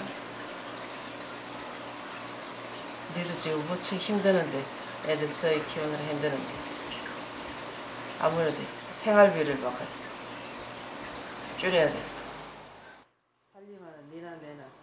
월급 삭감이란 청천벽력 같은 얘기에 수연 씨가 당황스러운 마음을 숨기지 못한다. 벌어온 거에서 이래 저기 그래도 어느 정도 얘기를 해주셔야지 저희도 거기에 맞춰서 생활을 이제 나도 그 얘기를 못하는 거 고정적으로 어느 정도 좀 이래 매일 담으면 뭐만 원이든 이만 원이든 들어오는 저기가 있어야 되는데 뭐 전혀 막 없고 이러니까는 다부 기름 기름 사버 두, 두 드럼씩 한 드럼 기름 사버리지. 지금이 비수기인 것도 문제지만 어머니의 더 큰 걱정은 자식들의 부족한 경제관념. 애들이 서의식이나 되는데 그 지금 어릴 때 부지런히 벌어가지고 나중에 지금 하고 싶은 거 할 때 돈 없어가지고 못 해주면 너무 가슴 아프니까 어릴 때 열심히 해가 벌어야 된다. 그래야 나중에 지금 커가지고 지금 뭐 하고 싶다, 뭐 공부를 어떤 걸 하고 싶다 할 때 뒷바라지를 할 수가 있지.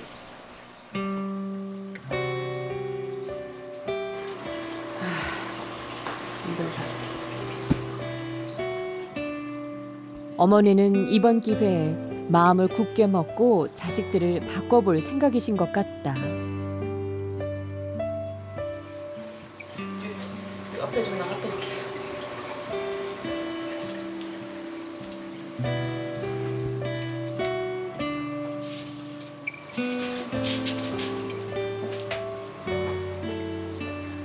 성수기 때랑 비교하면 어느 정도?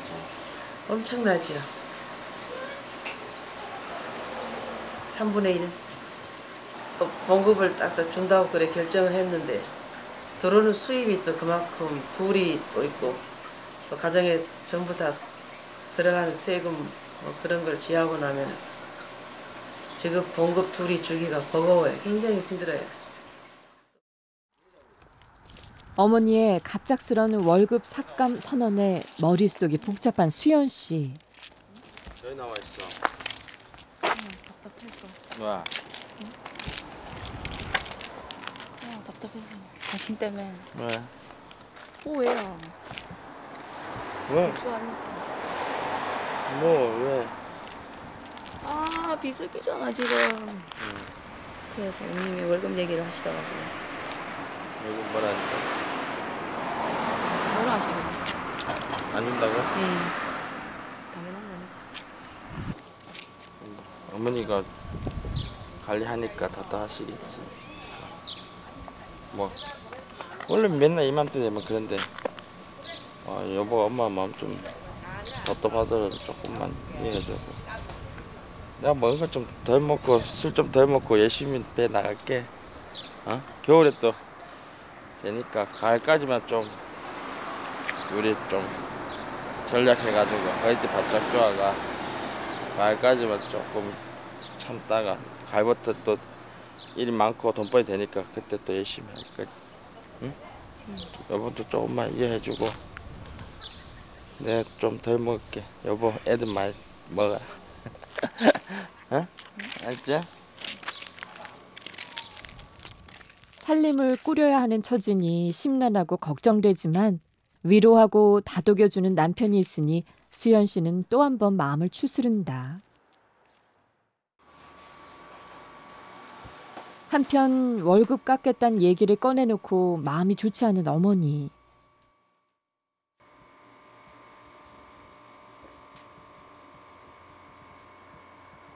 오늘 같은 날이면 먼저 세상을 떠난 남편이 원망스럽고 그립다. 이럴 때 계셨으면 좀 든든했겠네요. 그렇죠. 이루 말할 수 없이 든든했죠. 이렇게 하라 저렇게 하라. 내가 뭐 할 필요도 없이. 저 아빠가 알아서 다 애, 설령 저들이 배를 하고 싶다고 들어왔다 해도 저 아빠가 있으면 아빠 따라 다 니도 해가 제가 그대로 따라서 배우면 되는데. 그것도 그렇고. 아빠의 빈자리가 굉장히 커요 남편의 자리도 그렇고 만약 남편이었다면 아들들에게 어떤 말을 해줬을까? 어머니는 사진 속 남편의 얼굴을 보며 그 답을 찾고 있다.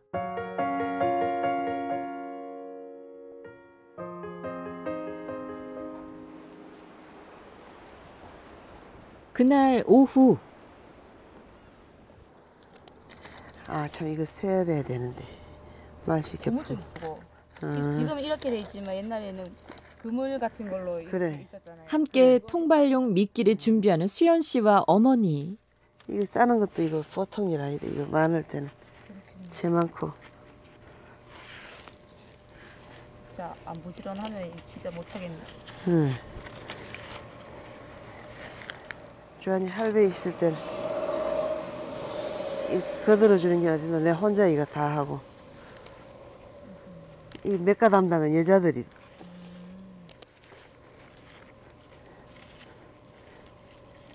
물고기 많이 잡아러 정성을 담아 써야겠네요. 그래.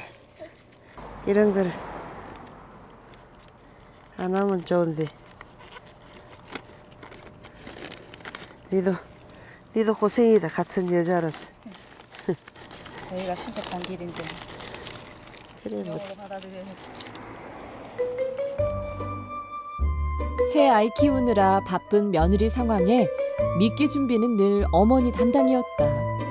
오늘은 일부러 나와 어머니 일손을 거두는 수연 씨. 힘든 얘기를 꺼내놓고 속상했을 어머니 마음을 알 것도 같아서다.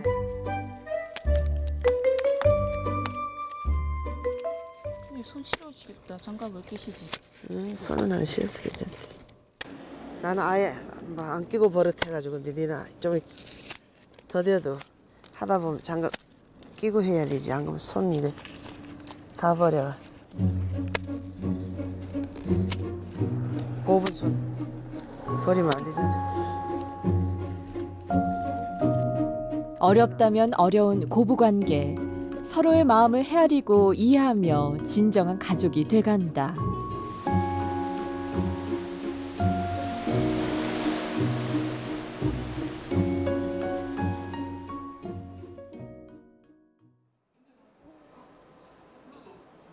다음 날 새벽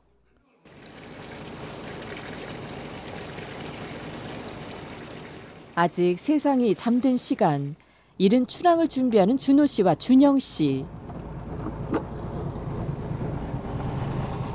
어제 일도 있었으니 오늘부턴 부지런하고 믿음직한 어부로 거듭나 보려고 한다.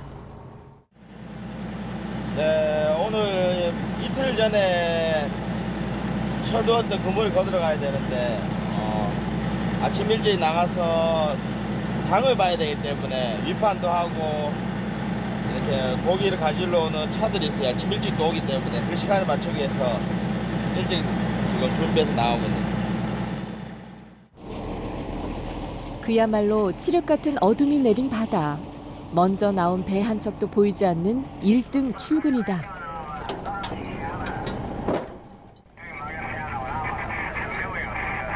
고기가 없다. 새벽잠 떨치고 나온 보람도 없이 텅 빈 채로 올라오는 그물. 어쩌다 간간히 걸리는 건 지금은 쓸모없는 대게뿐이다.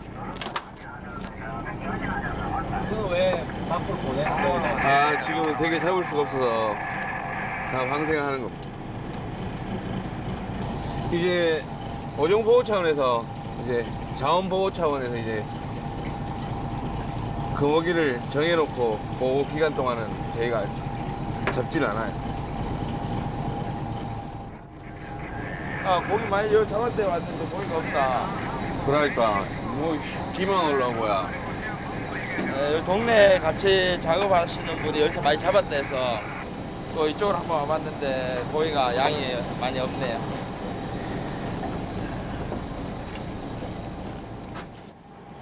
고기가 너무 없다. 딴거 땡겨서 땡겨서. 풀어. 넘. 여기 북쪽으로 북쪽으로 좀 이동해야 될 것 같은데. 어. 형제는 이틀 전 그물 두 개를 쳐놨었다. 첫 그물에선 실망만 건졌으니 두 번째 그물에 희망을 걸어보는데 이번 그물에도 태반이 대개 기대했던 고기는 어쩌다 걸린 몇 마리가 다다.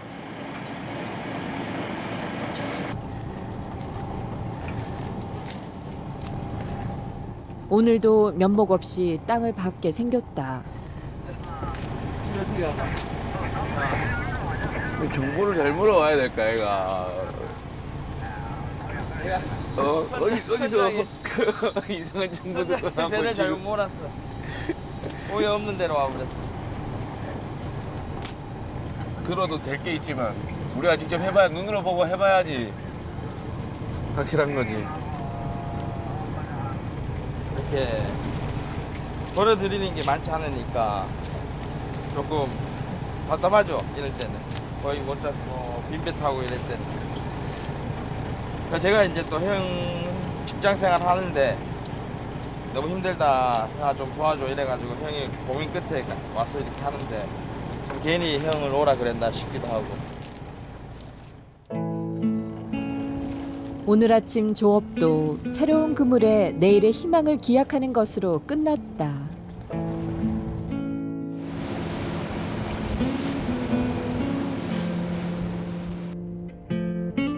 선착장으로 마중 나오신 어머니.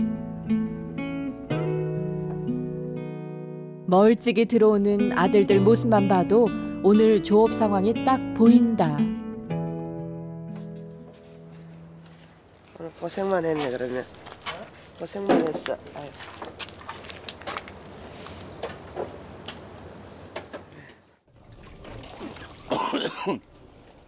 해도 뜨기 전부터 부지런을 떨었건만 서너 시간의 조업으로 수확한 생산량은 고무통 하나도 채우지 못할 정도. 으차고 으차고.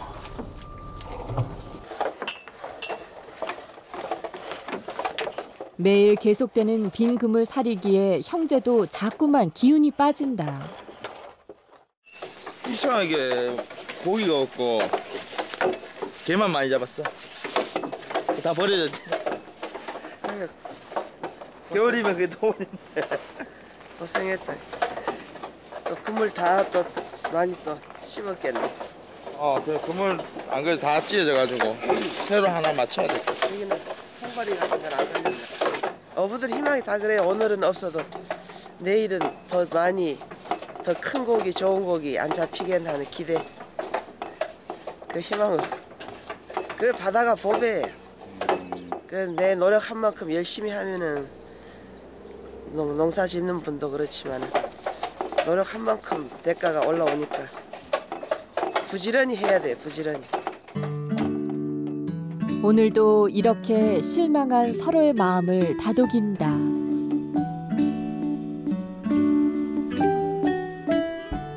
잠시 뒤 어, 냉각 이제 틀어, 틀어놨네. 매일 아침 어촌 마을을 돌며 수산물을 사가는 중간 상인의 차가 형제 집에도 찾아왔다. 식 구. 식구 2kg 까구까 빼 18이다. 2 2kg 까구까 빼고 16. 어, 18에서 그러면 18 안 하고 16. 2kg 빼고 14. 14고 3kg 값 있지? 11. 아싸. 11kg. 이래, 이래가 잡아갖고 밥 먹고 살겠다. 그러니까 이래가지고. 지난 며칠 동안 고생한 대가가 이것저것 다 빼고 나니 겨우 11kg. 밥 먹고 살겠다. 요리 빼고 저리 빼고 자. 다 빼고. 요번에만 빼지 이제 다음 파스는 안 빼잖아. 애썼습니다. 이거 혼자다 이거 둘이서 얼마 차지하는 140만 원. 14만 원. 네? 이래, 이래 가지고 뭐 누런 거가 있어야 되지. 이래 가지고 몇 가깝도 안 돼. 어제 그만큼 고생하고 놀았는데 와 힘이 쪽팔렸고. 가끔 그러잖아요. 가끔. 가끔. 아 힘 빠져. 돼지는 어쩐가? 아직 아직 와야지. 와야 게. 일한 대가를 받아들고도 어머니 표정엔 근심만 가득하다. 동해모가 가장 저지해 잘, 제일 지금. 잘 잡고. 이사를 많이 잡는다네. 남자가 제일 새끼들 500개밖에 안 들어갔는데 남 그래요? 3,000개하고 갔나? 아니 그러고 돼지란 지 이제 2년밖에 안 됐는데. 몇십 년 한 사람. 그래도 젊은 사람이나 돼지란다는 그 자체가 진짜 이거에 왔다. 나 직접 바로야.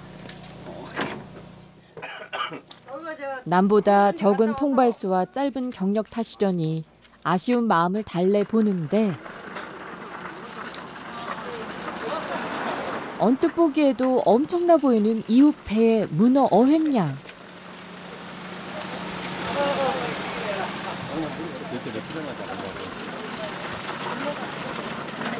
한 일로 와. 한 100kg 말고 일로 와. 한 100kg 되겠네. 100kg 넘어. 넘어. 응. 야 이거 100kg 넘어. 자 나와. 잘한다 자오지가. 나와.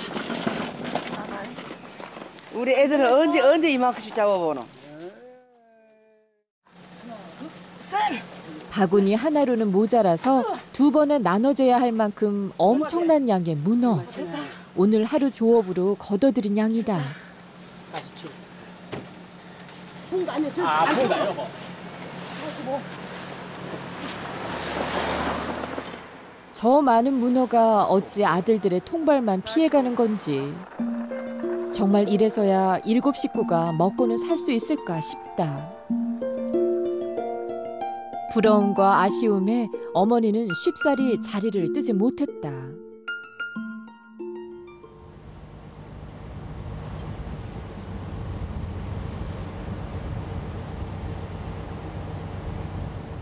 그날 오후 준영아 여기 있다 여기. 어. 그물 내릴 적당한 위치를 찾기 위해 함께 주변을 살피는 형제.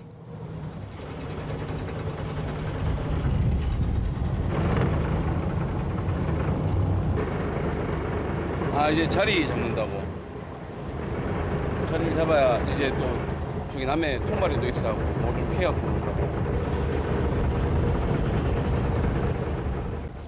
드디어 딱 적당해 보이는 위치를 찾았다. 던진대. 어. 야. 안 묶어놨나? 왜안 묶었나? 네가 갖고 왔잖아 이거 내가 없- 내가 묶어놓을 데 없었는데 이거. 왜안 묶었나? 아 정말에 지금. 뭔 지금. 왜요? 어?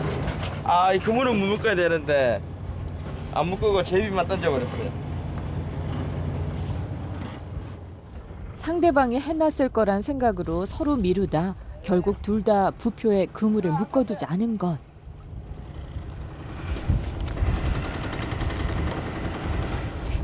오. 던질 때 못 봤나?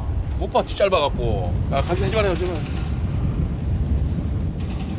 물살에 휩쓸려 이리저리 움직이는 부표.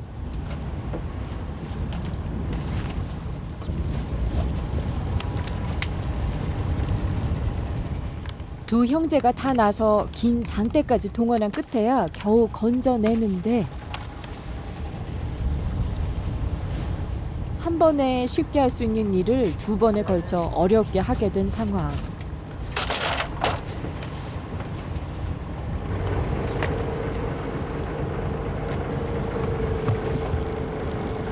아까 그물에 연결 안 시킨 거예요? 네. 왜 왜요?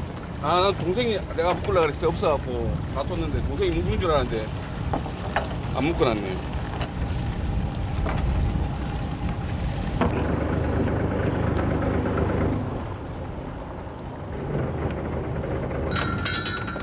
다시 부표에 끈을 묶어 그물을 내리는 것은 금방 해결했지만 준호 씨 얼굴엔 짜증이 가득하다.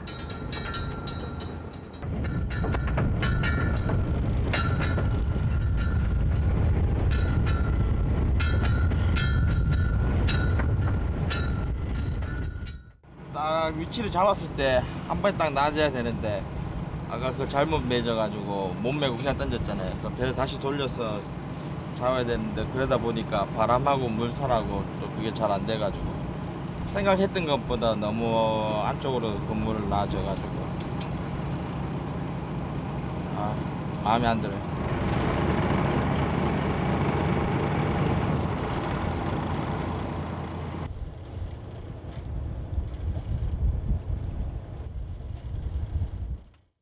준영 씨는 준영 씨대로, 준호 씨는 준호 씨대로 서로에게 짜증이 나 있는 상태. 네가 안 묶었지. 씨. 갖고 와갖고 그다 놔뒀잖아 위에다. 왜못 갔지?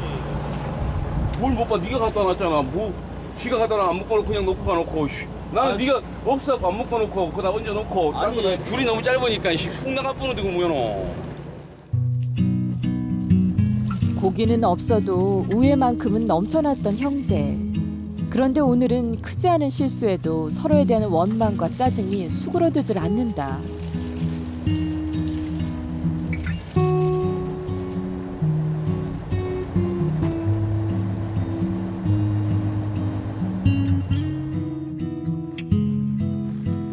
조업을 마치고 선착장에 돌아오도록 형제 사이엔 여전히 서늘한 냉기가 가득하다. 형아 문화의 삼촌 통발에 미역초 좀 준다는데 그거 한번 안 나볼래? 많이 안 된다고. 몇 마리 안 되더만. 몇만 안 돼도 통발에 들 그만 들면 그물로 많이 걸린다더만 뭐 농사는 아무도 없고 확인도 안 했는데 그거 한물 들어오긴 돼, 들어올 때 되긴 됐는데 통발에서 갖다 놓는 게 안 낫나? 통발에도 뭐 시간이 많이 걸리잖아 통발에도 좋게 좋은데 그물이 좀 쉽다 아이가 아니 문어는 있지만 그거 확실하게 있는 것도 없는지 모르잖아. 그냥 한번 해보자는 거지 뭐 자꾸 뭐 부정적으로 얘기하고 부정적이 아니고 그 차라리 통발에 넣는 게안 낫나 그런 거지. 통발에 넣으면 그뭐 그때도 한 이게 다 요즘 어획량이 시원치 않다 보니 생기는 문제. 일단은 들어왔으면 들어온 그거 있으니까 한번 나보자 그러는 당장 잡히는 양이 적어도 문어 통발은 계속해야 한다는 준호 씨와 통발 대신 그물에만 집중하자는 준영 씨. 그 줄하고 그 언제 다 만지는데? 그거 만질 시간에 그냥 한번 나보자. 하루만 그 시간 그냥 해봐 투자해가지고 나보자 그거지. 형제의 팽팽한 입장차가 좁혀지질 않는다.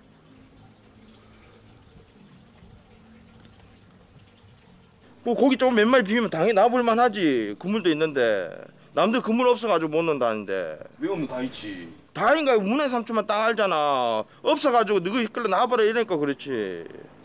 해보질 않고 꼭 저질한다. 비수기가 계속되면서 신경이 잔뜩 예민해진 형제 사이가 통발 사용 문제를 놓고 폭발하고 만다.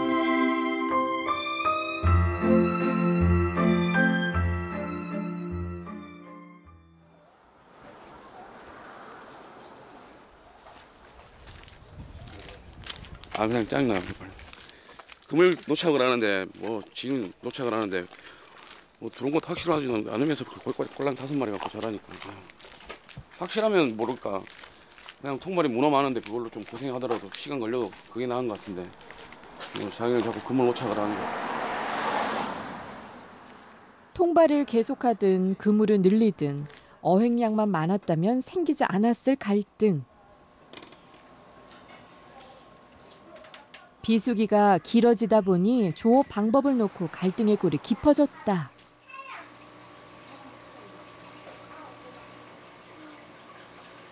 집으로 돌아와서도 서로에게 냉랭하기만 한 형제. 아들들 사이에 흐르는 냉기가 어머니에게도 고스란히 전해진다. 뭐 둘이 다퉜나 왜 인상이 뭐 찍찍하게 앉아 있나? 어?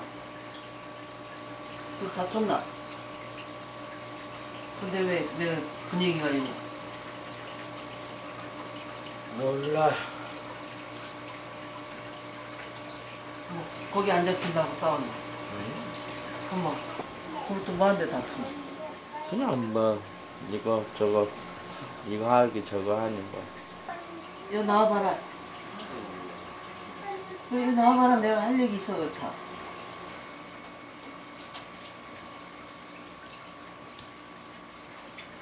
원래 고기가 많이 잡힐 때는 뭐 저기가 어, 안다 기분이 좋아가 막 힘이 나는데 힘들어도 막 힘드는 줄 모르고 하는데 고기 안 잡히고 고기가 이렇게 비시기 때는 원래 짜증도 나고 또 그러면 상대방한테 또 짜증이 부려지고 이런다.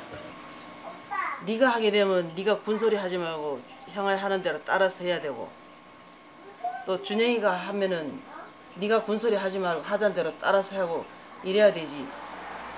선장이 둘이나 돼버리면은 이 배가 바다에서 떠야 되는데 산으로 올라간다. 그러면 아무것도 안 된다. 딱 둘이 그거를 딱 지정을 해놓고 네가 해라. 그럼 네가 하는 하자는 대로 내가 따라가겠다. 그러면 뒷소리를 하지 말고 한 사람이 누가 됐든 간에 한 사람이 설칠 때 그대로 따라서 해. 네가 하든 네가 하든. 그래야 되지. 이거 의견이 안 맞으면 절대 안 된다. 두 아들이 함께 일하겠다고 했을 때 이런 갈등이 생길까 봐 제일 걱정스러웠던 어머니. 걱정했던 그 일이 현실이 된 것 같아 어머니는 마음이 무겁다. 그리고 바다 사업은 부지런해야 되지. 뭐 요 핑계 대고 저 핑계 대고 깨부리고 이러면은 절대 안 된다. 이게 할아버지도 더 힘들게 했고 아버지 때도 그만큼 힘들게 했다. 근데 지금은 모든 시스템 장비고 배우고 그만큼 좋아졌으니까 둘만 머리만 지혜만 잘 짜고 열심히 노력만 하면 그 노력한 대가 충분히 받는다 바다는.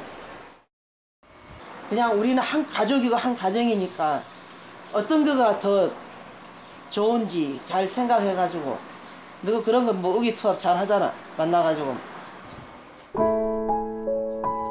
더 나은 방법을 찾으려다 생긴 다툼이 어머니에게까지 큰 근심을 안긴 것 같다.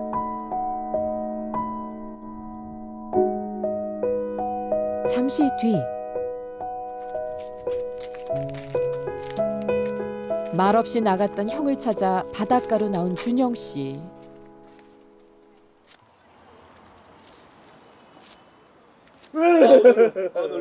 아우 덥다. 뭐 나라 빨리. 에 나와 있어? 그냥 나와 있다. 나라 덥다. 안 그래 도와줄겠구만. 씨. 왜? 나라 와 와 와 와. 와. 형 말이 맞는 것 같다. 내가 잘못했어요. 뭐 틀린 말도 아닌데. 어, 모르다.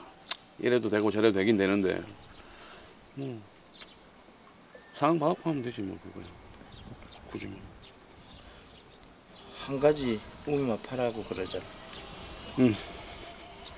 그것도 맞는데 뭐 그거야 시원찮으니까 두 가지를 파는 거지 뭐. 그게 똑바로 되면야 자기 그 삼촌들처럼 똑바로 그렇게 양 많고 이제 매일 꾸준하게 그렇게 잡으면 모르겠는데 우리가 그렇게 안 잡, 못 잡으니까 뭐 잡힐 때는 잡히고 안 잡힐 때는 없어 보니까 그러니까 그러는 거죠. 아무튼 잘해보려고 하자 했는 거니까 그래, 뭐 뭐라나. 마음 상하지 마시고요. 마음은 안 상했다. 응? 마음 상할 거뭐 있노? 아, 왜 아버지는 배름 동양을 지었을까? 뭐 말 동행 뜻대로 뜻 그대로 뭐 함께 한다 이거겠지. 바다랑 함께 하든가 뭐든지 모든 뭐든지 주위 사람들하고 뭐 이렇게 피해 안 주고 뭐 그런 뜻도 담겼을 수도 있고 아버지가 약간은 그런 걸 좀 바랬잖아. 둘, 둘이 돌아가고 고생하지 밖에서 고생하지 말고 했으면 하셨잖아. 살짝은. 그래, 그럴 수도 있고 그거 생각해서 했을 수도 있고 확실한 이유는 모르겠다. 그 형아 배름처럼 어? 끝까지 우리 형제의 벤치 말고 동행합시다. 그래, 한번 해보자. 저 배와 한 몸이 되었어. 그래야지 뭐. 어. 내일의 만선을 위해서 함께 또 힘차게 달려갑시다. 네. 야, 딱 바다 산. 잠시 서로에게 가졌던 불편한 마음을 털어버리고 다시 사이좋은 형제로 돌아온 준영 씨와 준호 씨. 아버지가 지은 배 이름 동행처럼 앞으로도 서로를 믿고 의지하며 함께 가려 한다.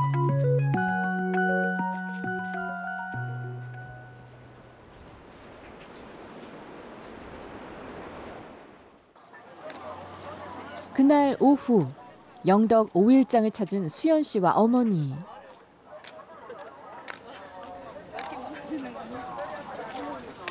시장 입구에 자리 잡은 액세서리 노점에 제일 먼저 눈이 간다.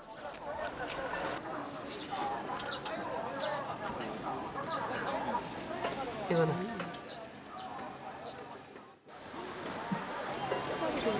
이거는 어떤 요것도 좀 짧으면 이쁘겠다. 뭐 사러 오신 거예요? 시장 보러 왔는데 귀걸이가 액세서리가 예쁜 게 있네. 어머니 하실 거예요? 아니요.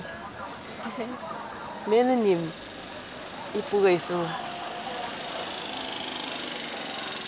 새 아이 키우느라 멋 내고 살 여유는 없지만 수연 씨는 아직 한창 꾸미고 싶은 20대다. 어머니 이거 괜찮아요. 그거 예쁘다. 아까보다 여기 낫죠. 아는 사람이라곤 시댁 식구뿐인 어촌까지 들어와 남편만 보고 사는 며느리가 고맙고 안쓰러운 시어머니. 이런 외출로라도 답답한 마음을 풀어주고 싶다. 아. 가사를 썼다가 예. 두부. 그거는 검은 콩 검은 깨. 예, 검은 깨두부가 아니고 검은 콩두부. 아, 콩 검은 콩에 아니 두부를 예. 물에 소금에 담가갖고 예. 소금 반 숟가락만 물에 딱 태워놓으면 오래 이거 테레비 나왔어요. 음, 예, 있습니다. 안녕하세요. 이것저것 필요하다 싶은 창거리들을 골라 담는데 그럼 얼마죠? 매번 계산하는 돈은 어머니 지갑에서만 나온다. 아줌마 장사 잘 되기. 나 나는 뭐 잘못 가면 손님 것을 먹어가요. 왜 사느니? 이요. 계산은 어머니가 다 하시네요? 예. 한살림이에요? 예. 그 맛에 따라오지요. 어린이집에 간 아이들 간식거리까지 살뜰히 챙겨 사는 고부. 내가 서비스 좀몇개 해놓을게. 언니 우리 출출한데 어. 튀김하고 좀 먹고 갈까요? 그래. 떡볶이가 이 집에 있나? 떡볶이는 없지 싶은데. 맛있겠다. 야, 예언이도 먹을래? 역시 장보기의 최대 즐거움은 길거리 음식 맛보기. 안녕하세요. 예언이는 뭐 줄고? 고구마. 고구마 손으로 지어지. 이 영택선에 지금 뭐 다 지어 있어. 아, 어부 아내 경력으로 치면 며느리보다 한참 선배인 시어머니. 어촌 생활의 어려움을 누구보다 잘한다. 다장다감 하면서도 한 번씩 그냥 굴뚝굴뚝 해가지고 내가 옆에서 볼 때도 그 네가 조금씩 이해하고 뭐 어떡하나 그래 너 잘할 때는 잘하니까. 그래 그래 저, 저 자꾸 좋은 점만 보고 생각하면은 사라진다. 또 직장 생활 도시에서 살다가 또 촌에 들어와 또 더군다나 어촌에 살는 게 그게 보통 힘드는 게 아닌데 그래도 네가 잘 적응해 나가니까 나도 이제 좀 안심이 되고 처음에는 걱정이 많이 되더만은 그, 그래도 너는 아직 지금 불편하고 정향가 많이 있을 거라. 그래도 그 생각 차이니까 네가 잘 지혜롭게 이제 새야 엄마인데 이제 더 야물딱지게 해야 되지. 알아주셔서 감사합니다. 그 사는 게 다 그렇다. 그러다 보면 좋은 점도 있고 나쁜 거 서로 조금씩 양보해 가면서 그래도 나름 행복하게 잘 살고 있잖아요. 한 번씩 트러블 생길 때는 좀 그렇지만 또 그래 그런 재미 없으면 또 저는 항상 좋을 수는 없으니까 결혼 생활이라는 것이 남편 한 사람만 보고 살 수는 없는 것. 섭섭함은 덮어두고 고마움은 표현하며 고부의 동행이 계속된다.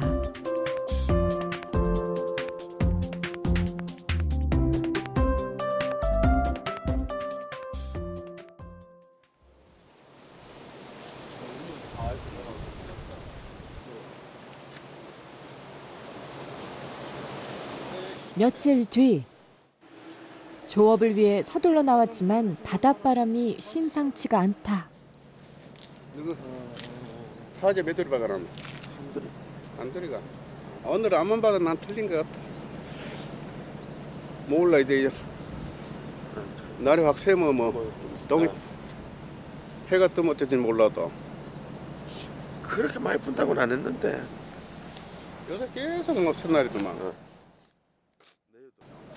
수십 년을 바다에서 산 베테랑 어부도 선뜻 나서기 힘든 바다 날씨다.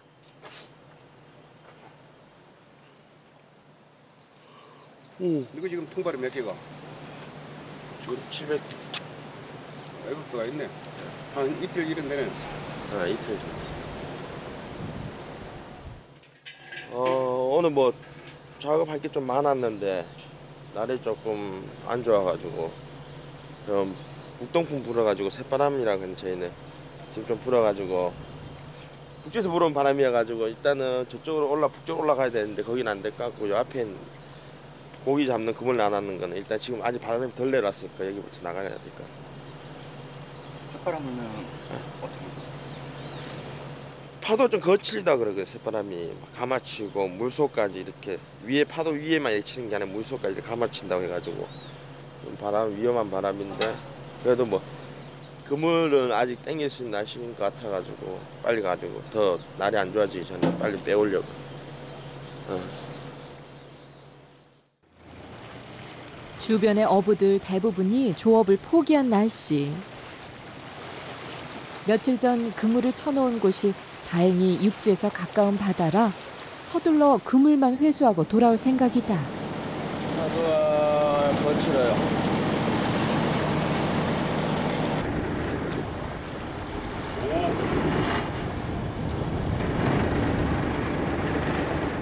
바다로 나오기 전 예상했던 것보다 훨씬 심하게 몰아치는 파도.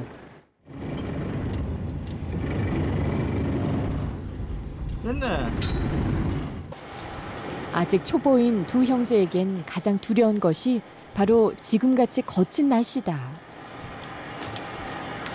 최대한 빨리 육지로 돌아가기 위해 움직임을 서두른다.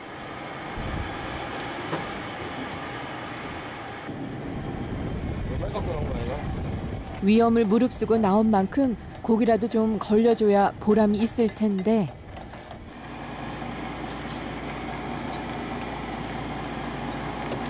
근데 고기가 생각보다 없네.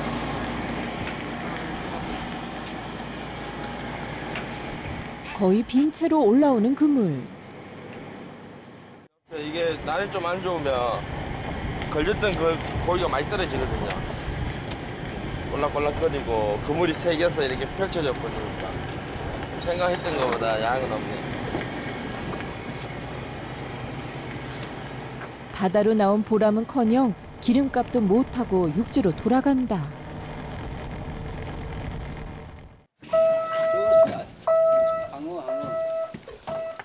없나? 뭐가 없네. 뭐가 없네. 텅텅 비어 있는 어창. 10여 마리도 안 되는 생선이 오늘 수확의 전부.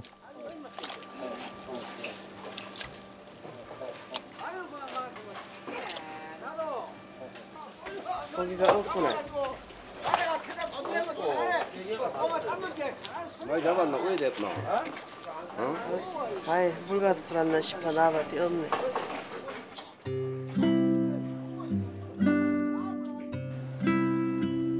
아무래도 오늘은 오후 조업도 힘들 것 같다. 어쩔 수 없이 준영 씨도 이른 퇴근을 한다. 여보 응? 나왔어요 배고파 왔어. 밥 주세요 고생했어. 뭐? 부대찌개. 오 내가 좋아하는 건데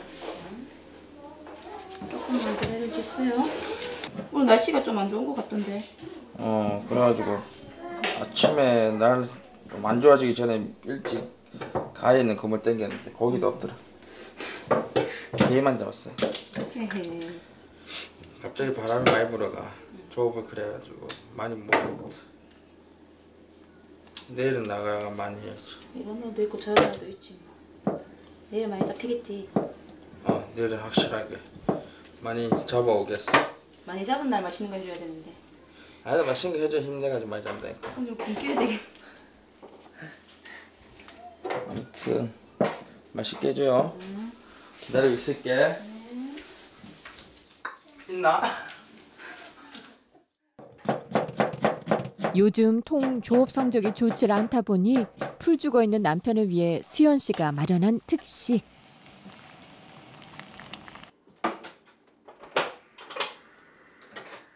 여보 여보 다 됐어 같이 들고 가자 됐어. 응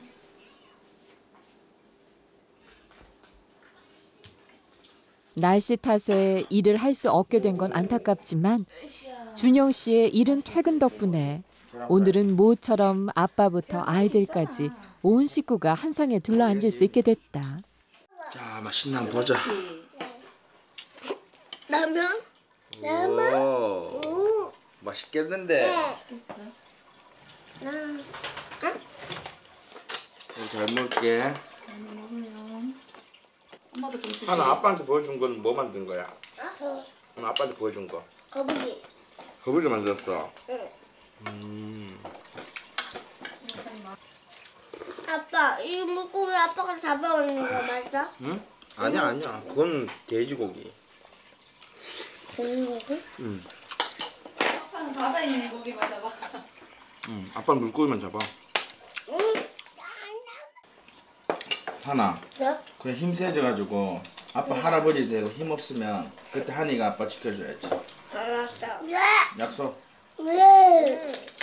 약속. 응, 응. 이건 뭐지? 네. 복사. 복사? 아이. 사인. 사인 이렇게 하나. 이렇게. 이렇게. 이렇게. 단, 어. 응. 약속했다.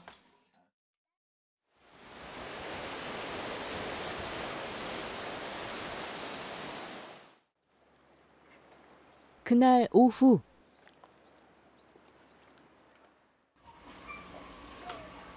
엄마 물 챙겼나? 몇 개? 몇개 남았노? 다섯 개. 다섯 개 될라나? 다섯 개는 되지. 뒤에 뒤에 두세개 앞으로. 평상시 배 오르던 때와는 다른 차림으로 집을 나서는 준영 씨와 어머니.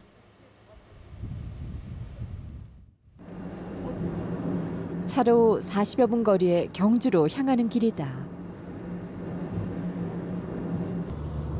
저희가 어버이날 가가지고 꽃을 심어놓은 게 있거든요.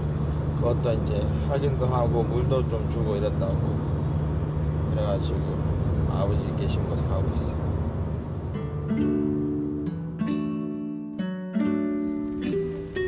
이년 3개월 전 갑작스런 사고로 돌아가신 아버지.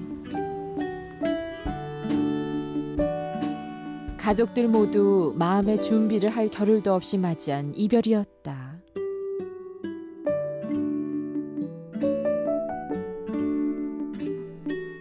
남편의 부재를 감당하기 어려웠던 어머니는 하루하루를 눈물로 보내셨고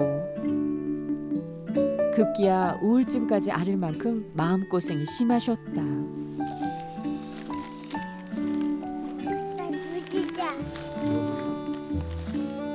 이런 어머니를 보다 못한 준영 씨 부부가 직업 군인을 포기하고 고향으로 돌아왔고 1년 뒤 첫째 준호 씨도 합류했다. 아버지처럼 어부로 살고 싶지 않아 일찍 고향을 떠났던 아들들은 결국 아버지로 인해 다시 고향으로 돌아왔고 지금은 아버지의 뒤를 잇는 어부가 됐다.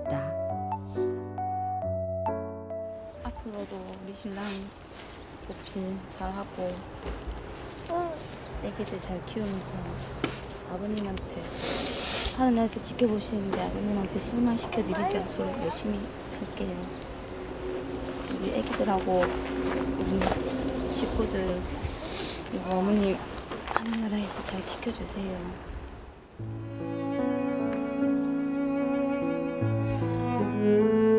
아버지께 살가운 소리 한번 못하고 일찍 그 품을 떠났던 것이 지금와 사무치게 후회스러운 준영 씨.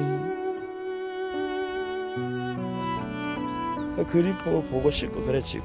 그또 한편으로는 점점 이제 시간이 지나니까 제 가슴에 담고 있는 아버지 그게 이제 점점 무뎌져 가고 점점 잊혀져 가니까 그게 너무 싫은 거예요. 근데 그게 또 사람이라는 게 세월이 지나니까 또 자연스럽게 또 그래 되더라고. 앞에 헤쳐나가야 될 산들이 또 많기 때문에. 그러니까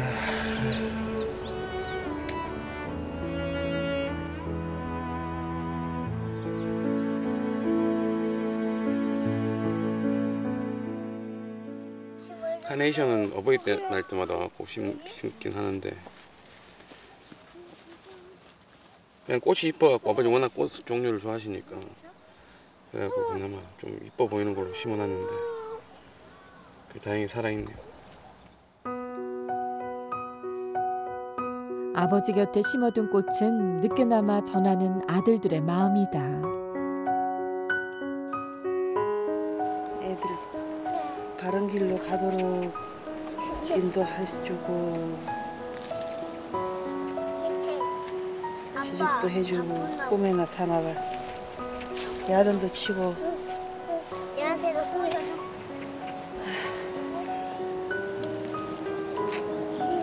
앞에 가서 할아버지 여지 앞에 와서 해야지 다음에 또 오겠습니다. 네, 오겠습니다.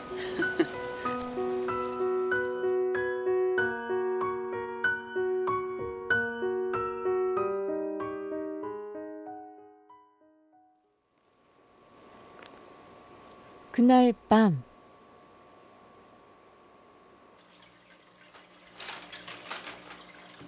준영 씨 가족이 모두 집으로 돌아가고 어머니와 준호 씨 단 둘만 남았다. 그래 뭐 앉아나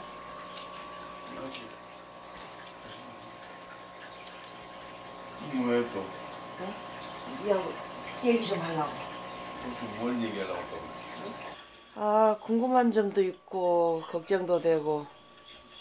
뭐가 뭐가 또 걱정이에요? 아 순서대로 형이 먼저 갔으면 그런 게 있는 게 뭐 세월이 있으면 가는 거고 그렇지. 그래 이제 세월이 그러니까. 옛날 같으면은 손이가 먼저 가야 되겠지만 그런데 지금은 뭐 아무나 뭐 아래고 위고 뭐 먼저 짝이 있으면 가니까 그런데. 그 니는 뭐 아니. 만나는 사람은 있나 만나는 사람은 없지요. 없나? 힘들지 만나기. 엄마도 뻔히 아버지 알면서 뭘. 그래도 능력. 능력이 뭐, 뭐 데이트할 시간 줄란겨 맨날. 되는겨 그게. 데이트? 내가 내 이걸 타이틀도 없다. 타이틀이라고 배 타는 거 이거밖에 없는데. 엄마 이천에 배 탄다 그래봐라. 엄마가 여자다. 엄마도 여자잖아. 그 엄마 어, 여자하고 어떻게 배- 생각하겠노? 배 탄다 왔잖아 아빠한테. 이 주위에 지금 사는 사람 그러니까 다 배 타는데도 옛날이잖아요. 시집 옛날에 지금 최근에도 오잖아 최근에 어디서 오노 누가 오노 농사 짓는데도 가고 그건? 네가 그런 생각을 버려야 된다. 네 자신만 똑바로 쓰고 저기 하면은 배우자는 그래도 다자 고무신도 짝이 있단다. 그래 요즘은 뭐- 아니다 그건 옛날 말이지 옛날 말 지금도 마찬가지 다 하늘이 맺어준 짝이 있다. 아직 혼자인 큰아들이 마음 쓰이는 어머니. 혼기를 놓치는 것은 아닌지 걱정이다. 아직 그렇게 조바심 조급하게 그런 단계 아직은 아이긴 아닌데 그래도 동생이 저래 애들이나 서이나 놓고 저래 사니까 부모로서 조바심이 안 생길 수가 없다. 그래 이제 자꾸 이왕이면 우리 한국 같은 저기면 좋지만은 뭐 안 그러면 내국인이라도 어떻나 하는 야가 이런 일 하는데 니 괜찮겠나? 어느 여자가 대뜸 어 괜찮다. 그럴 여자가 어딨냐고. 준호 씨는 이 어부라는 직업이 결혼할 때 좀 걸림돌이라고 생각하세요? 저는 그렇게 생각을 안 하는데 이제 상대방이 그렇게 생각을 해버리니까. 그런 얘기도 직접 듣기도 들었고 뭐 그러니까 자연스럽게 나도 모르게 숨기게 되고 숨기다가 또 아 이건 숨기면 될 게 아니다 싶어서 얘기를 하면 어 안녕 이래 버리니까 어업을 한다는 자체가 선입견을 꺼버리고 보기 때문에 아직도 그 시, 그런 시각, 시각 때문에 많이 힘들어요. 뭐 막 옛날보다는 아니라 아니라 그러는데도 여전히 이제 좀 거리감 있게 보는 건 있거든요. 물론 아닌 사람도 있겠지만 제가 느낀 거는 그런 쪽이 많아요.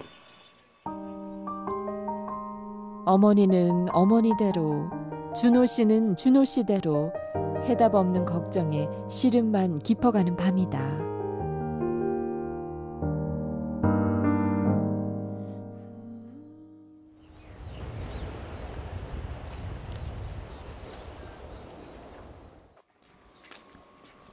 조업 준비를 위해 일찍부터 어머니 집으로 온 준영 씨.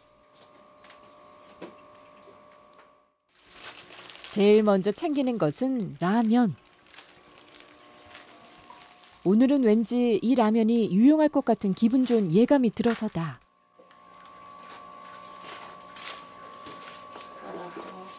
응? 젓가락. 응? 나무 젓가락에. 물은 그래서 이제, 이제 저 저기 하니까 옆에 소금통을 보면 있다. 어부들 사이에서 최고 별미로 꼽히는 것 중 하나가 갓 잡은 문어를 넣고 배 위에서 끓여 먹는 라면. 오늘은 아들들도 그 맛을 제대로 느꼈으면 좋겠다. 갔다 오겠어요. 무사기한 언제나 그랬듯 오늘도 만선의 꿈을 꾸며 바다로 나가는 초보 어부들. 뭐부터 하냐고? 오래된 거부터 하지 뭐.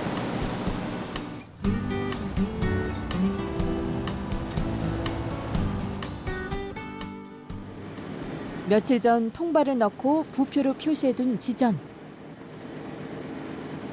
오늘은 300개 정도의 통발을 수거할 계획이다.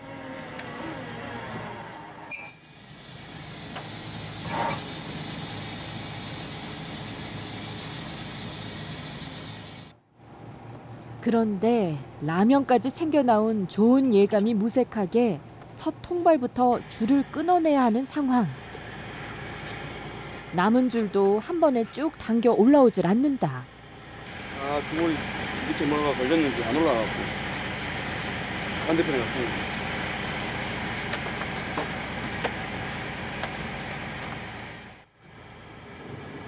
두 번째 부표.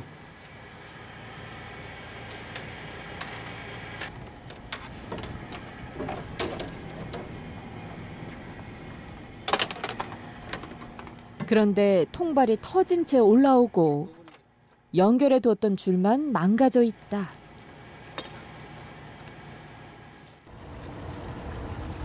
기껏 들어있는 거라곤 쓸데없는 불가사리뿐. 몇 마리 잡으셨어요? 한 마리도 못 잡았어요. 망자만 다 잊어버리고. 원래는 많이 들어가야 되는데 저희는 아직 경험이 없어가지고 그렇게까지 못하고. 일단 안전한 데서 한 마리 더 잡아도. 근데 욕심은 들어가서 많이 잡고 싶죠. 근데 아직 그게 안 되니까. 이번 통발에 다시 기대를 걸어보는데 아무것도 없지 않아.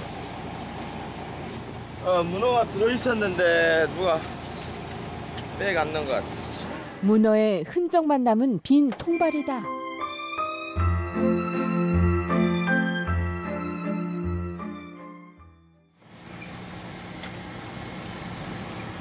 아예 빈 통발로 올라오는 경우보다 훨씬 더 맥 빠지는 상황.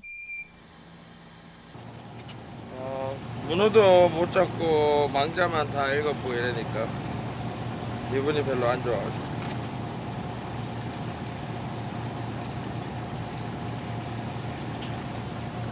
그것도 통발이 당겨보면 누가 이제 내 망자를 손 댔나 안 댔나 표시 나거든요. 밑값하고 이런 거 보면. 문어도 몇 마리 든 흔적이 있는데 문어도 없고 요즘 동해 바다가 비수기다 보니 이렇게 통발에 든 문어를 도둑 맞는 일이 종종 생기곤 한다. 심한 경우 통발째로 잘 나가는 경우도 있다. 문어를 못 잡아도 되레 그 통발이 내 손실이 망, 어구 손실이 없으면 그나마 조금 다음에도 잡을 기회가 생기는데 어구를 계속 잃어버려 버리면 계속 그냥 밑 빠진 독에 물 붓듯이 돈만 들어가는 거고 안으로 잡을 기회가 없잖아요. 막 어구가 없는데. 오늘도 이렇게 빈 배로 돌아가는 건 아닌지 희망을 찾아 나온 바다에서 자꾸만 절망만 늘어간다.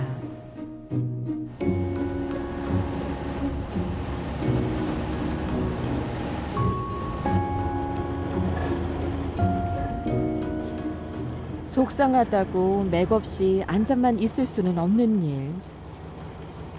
다음번 출항의 수확을 위해 통발 속을 채운다. 한 여덟 개 남았다. 그동안은 주로 정어리를 미끼로 썼는데 최근 정어리 대신 게를 넣으면서 문어가 더 많이 잡힌다는 이웃 선장의 귀띔에 형제도 오늘부턴 게로 미끼를 바꿨다.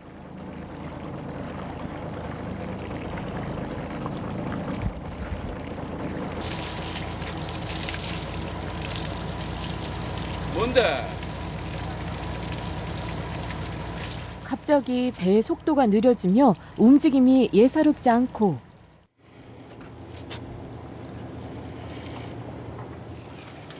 부표와 조타 씨를 번갈아 살피는 선장 준영 씨의 표정도 심상치가 않다.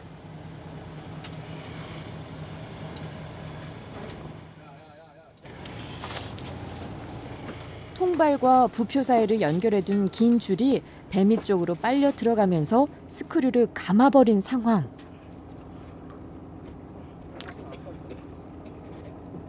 혹시나 하는 마음에 반대쪽 줄을 당겨봐도 스크류를 감은 줄은 빠질 기미가 보이질 않는다. 열어보고.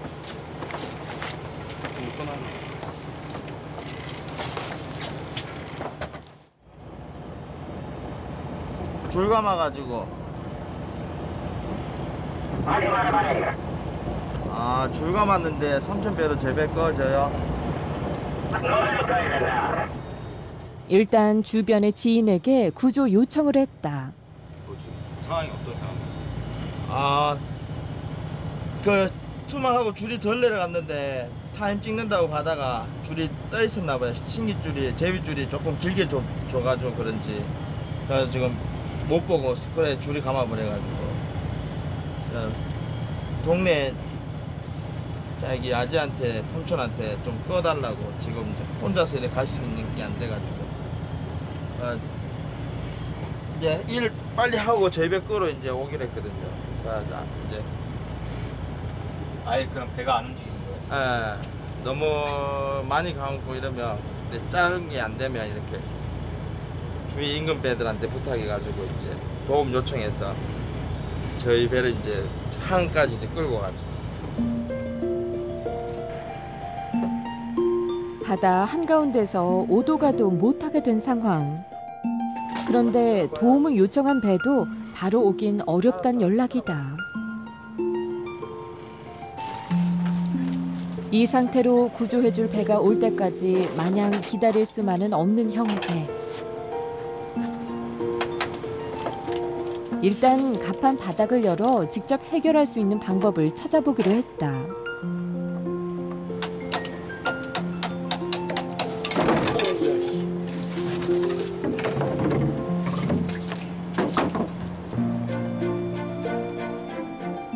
배 아래쪽으로 부표 줄에 감긴 스크류가 모습을 드러내고 줄만 들어 올려 끊을 수 있다면 직접 해결할 수 있을 것도 같다.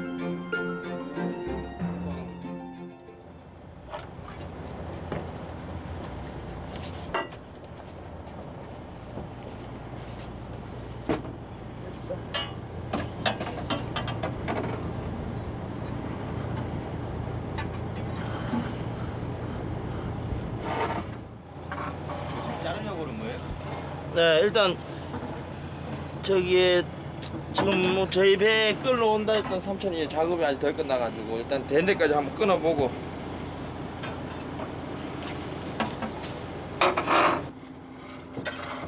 줄을 들어 올리는 것이 마음처럼 쉽지만은 않은데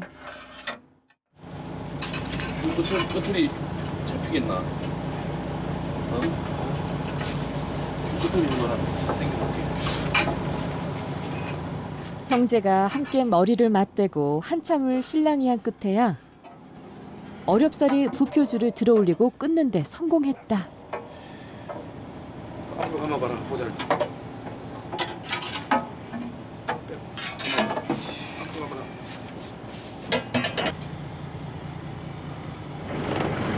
다행히 시동도 걸린다. 야, 많이 터나 봐봐. 아무리 초보 선장이지만 오늘 같은 일은 치욕에 가까운 실수. 부표줄의 위치를 제대로 확인하지 않고 배를 움직인 것이 문제였다. 준영 씨는 오늘 돈 주고도 못 배울 귀한 경험을 했다. 신경 쓰지 마시고 일하세요. 다 끊었어요.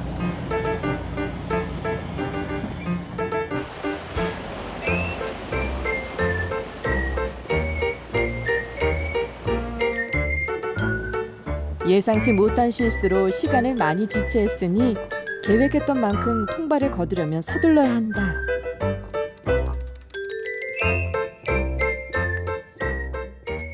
문어가 한 마리도 없네요. 문어가 좋아한다는 미끼도 였는데 아직 한 마리 맛도 못 봤어. 오늘도 이대로 끝나는 것인가? 한 마리 왔다. 아 얼마 만에. 이제 왔어. 실망하고 좌절할 때쯤 딱 나타나준 형제에겐 구세주 같은 문어다.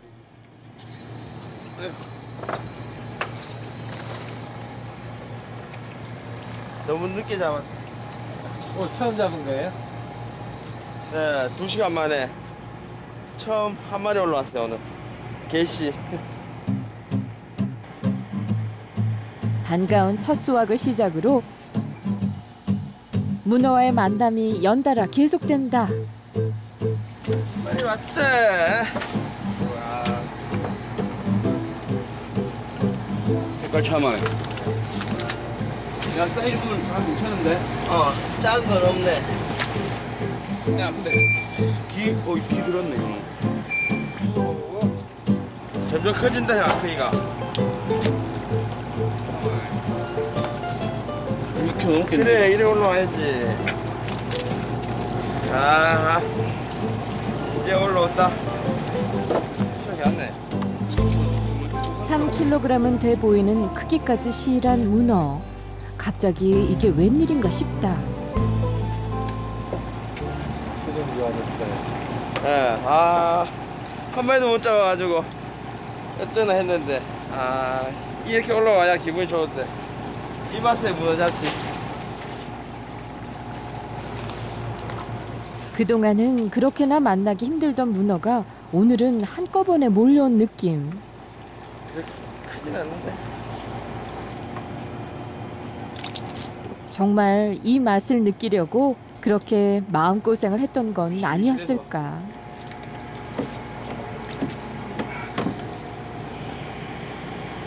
얘는 다리가 다 있나요? 네, 다 있어요.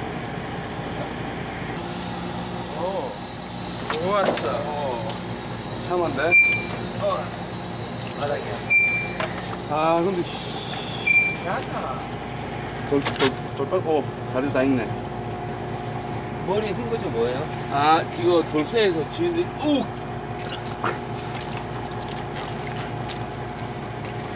이제 상처 입은 건데 돌틈에서 이제 숨어 있다가 이렇게 돌틈에서 숨어 있다가 어디 지, 지박은 것 같아요. 이렇게.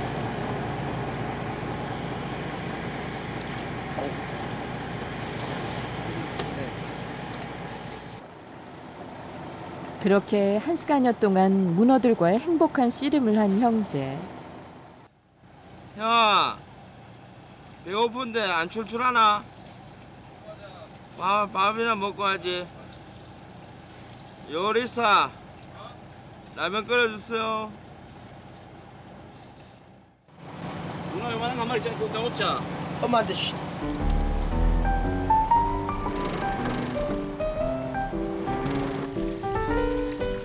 평소 같으면 문어 한 마리가 아쉬운 상황.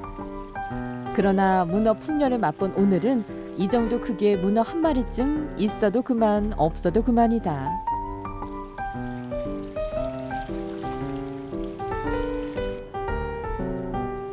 오늘 아침 왠지 라면을 챙기고 싶게 한 기분 좋은 예감이 딱 들어맞았다.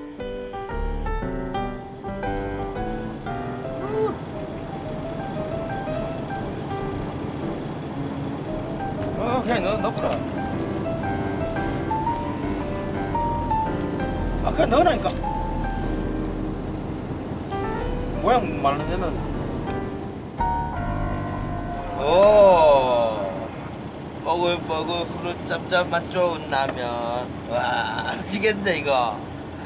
어, 완전 호로록 해보고 싶다, 이거. 어, 오, 오. 문어 라면 처음인데.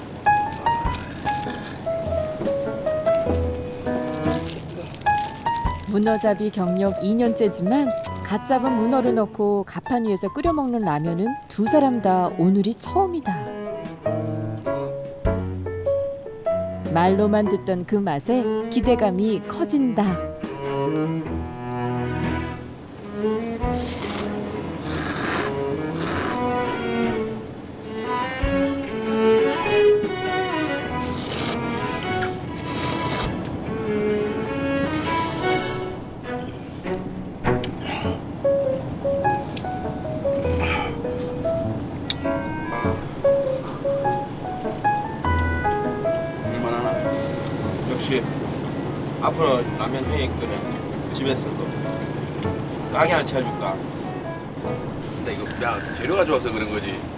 그래도 이물 양하고 이 틀린 짤 수도 있는데 딱 맞네. 야, 이 재료 넣어갖고 못 끓이면. 아 야, 투자 좀 할게. 문어탕면. 얼마 받아 이런 거? 뭐. 문어의 문어탕면집. 아 역시. 라면은 배에서 먹어야 돼. 최고 최고. 와. 아 이거 안 먹고 또 문어 맛을 봤으니까 또 문어 또 많이 잡겠네 많이 올라오면 좋은데 아 많이 잡은 것 같아 아침밥도 못 먹고 배에 오르던 멀미하는 어부는 오늘 이 배에 없다. 휴식 뒤에도 계속되는 문어 풍년. 문어가 참하네 참하다고? 어 왔어요 오 오늘따라 큼직한 크기는 물론 다리 8개가 다 있는 완벽한 문어들이 쭉쭉 올라온다. 오, 잘다 있고.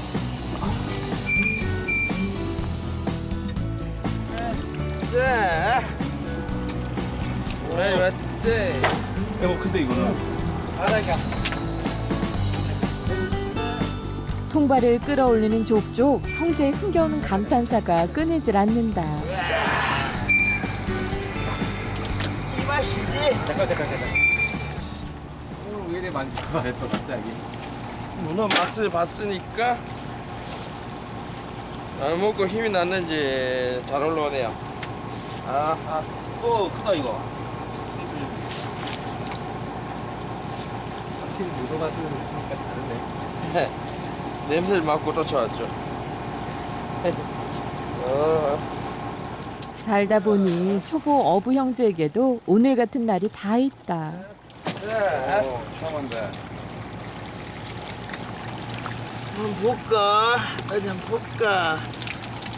이거 신발.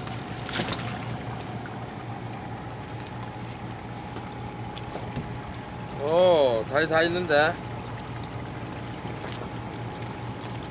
자, 다리 다 있다 이거는. 어, 오랜만에 반감 했네. 오늘은 바꿔하고 들어가네. 아휴. 오랜만에 반감했어. 요래? 오. 방에 넣으세요. 망이 없어요. 많이 왜 없어요? 아 오늘 준비한 거 다 썼어요. 벌써? 어 없다. 어, 안돼 안돼 안돼. 진짜? 없다니까. 요 웬일이라? 오, 많이 사주셨네. 그러니까요. 어 벌써 다 썼어. 와 엄마 좋아하겠네. 아, 처음이에요. 가져온 망 다 쓴 거는. 아 처음이에요? 아 오늘 좀 대가 중에 최고, 최고 많이 잡은 것 같은데 그래도 망을 다 쓸지는 몰랐어요. 저는 이제 주기만 줬는데 어, 아침에는 두 시간 동안 한 마리 잡아서 네, 아 오늘도 또 빈비타 했구나 했는데 아, 왠지 문어를 먹어서 그런가 봐요. 내일 드셔야 되겠네. 예, 형 이제 앞으로 매일 끓여줘. 아 기분 좋네. 매일 끓여 먹다가 씨 없, 없으면 어. 없는 날에 못 끓여 먹고 있는 날에 끓여 먹고.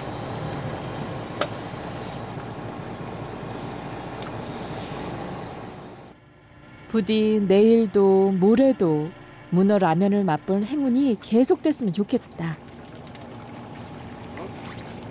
자, 난 이거 저 가자. 놓고 마무리하지. 어. 어, 오늘 문어도 많이 잡았는데 알티 할까? 자, 내일 열심히. 해. 고생했어. 아, 오늘 화이팅! 가자. 사람을 지치게 하는 건 역시 일의 양이 아닌 일을 하는 동안의 마음. 평소보다 오랜 시간을 바다에서 보냈지만 그 어느 때보다 에너지 넘치는 모습으로 집을 향해 달린다. 텔레파시라도 통한 것처럼 오늘따라 식구들이 전부 마중을 나왔다. 뭐 이건? 서윤이만큼 크다마는 물- 문어 잡아왔는가? 아빠가 응. 잡아왔어? 볼까? 자랑스럽게 꺼내놓는 문어망. 그래도 묵직하게 많이 잡았네요. 많이 잡았다고 네. 막. 좀 잡았다고 막 많이 힘이 절로 나는가 왜 혼자 벌써 벌써 그러니까. 어? 못 잡았다. 이게 뭐 많이 잡았노? 오늘은 거만함 섞인 겸손까지 부려본다. 기분이 부쩍부쩍 나는데?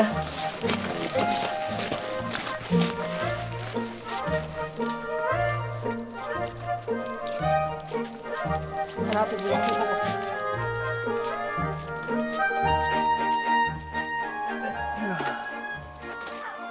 어부 인생 2년 만에 맛보는 기록적인 성과다. 29, 20, 한 27kg 치겠다. 어, 많이 잡았네, 그래도. 많이 잡은 거 아니에요? 어, 맞다. 오늘 최고 많이 잡았어요. 그러니까 오늘 최고 많이 잡았네. 최고 많이 잡은 거예요. 네. 다 계속 망자 잊어버리고 오고 오늘이 최고 많이 잡았어. 다 작은 것만 잡다가 오늘 또 큰 것도 잡고.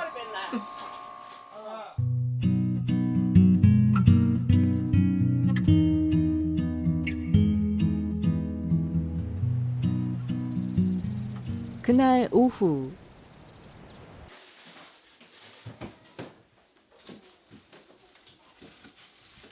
첫 요리에 너무 스케일이 큰 걸 하는 거 아니야? 하는 거 아니야? 나 안 찾을 자신 있지? 어, 당근은? 당근 좀. 안 찾는다면서. 준영 씨는 오늘 요즘 한창 유행인 요리하는 남자에 도전하려고 한다. 자꾸 찾으면 간다. 간다. 안 돼요. 맛있게 해줘.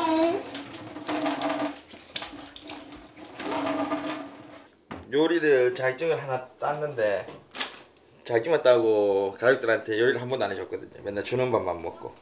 오늘 처음으로 애들하고 어머니하고 형하고 이제 초대해서 맛있는 저녁 한번 대접한다고. 그래 준비를 하는데 잘 될지 모르겠어요. 야심차게 부엌을 접수했지만 도통 뭐가 어디에 있는지 알 수가 없다. 여보. 왜? 그거 있어야 되는데. 여보. 여보. 여보. 수연아 한 번만 다시는 부르지 않겠다던 아내를 찾고 또 찾는다. 여보 그거 해줘 밀가루하고 어딨지? 밀가루하고 밀가루는 없는데요. 부침가루. 부침가루. 부침가루 해도 돼? 그 옆에 게 감자 전분이. 이거? 응. 같이 섞어. 뭐 이거 해준다고 하더만 계속 푸는 그러니까요. 이거는 거기 찾게. 살리면 안 살리게 내가 어딘지 모르잖아 처음 고향에 내려올 때만 해도 빡빡한 군인 생활을 할 때보단 아이들과 더 많은 시간을 보내고 다정한 남편, 효자 아들이 될 수 있을 줄 알았다. 그러나 막상 어부일을 시작하니 모든 것이 예상했던 것과는 달랐다.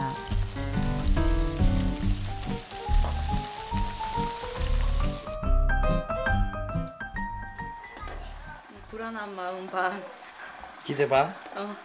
기대된다니까. 맛이 어떨지 궁금하다. 준영 씨는 오늘 모처럼 만의 실력 발휘로 미안한 마음을 덜어볼 생각이다. 아빠 맛있는 냄새나. 응. 여기 있습니다. 완전 먹고 싶어지는데? 완전 먹고 싶어져? 아 그거 내 거 아니야? 아빠의 요리하는 모습이 낯설고 신기한지 주환이도 계속 아빠 곁을 맴돌며 신나한다.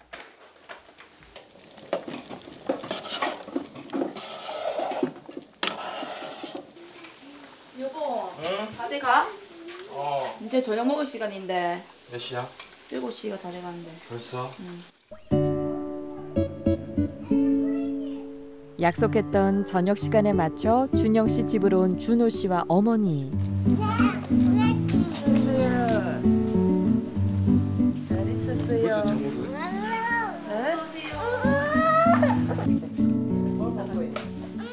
얼- 얼마나 거창하게 준비를 하셨길래 다 했어요? 아 오랜만에 실력 발휘 좀 하나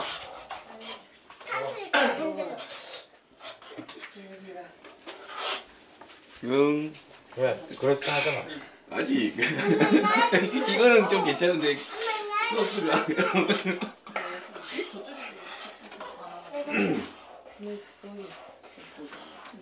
요즘 잘하네 잘 해놨네 맛을 봐야죠. 맛을. 아직 하고 있으니까 막 맛볼래 솜씨. 솜씨가 어디? 맛을 한번. 음, 솜씨 오늘 발휘했네. 아 힘들다.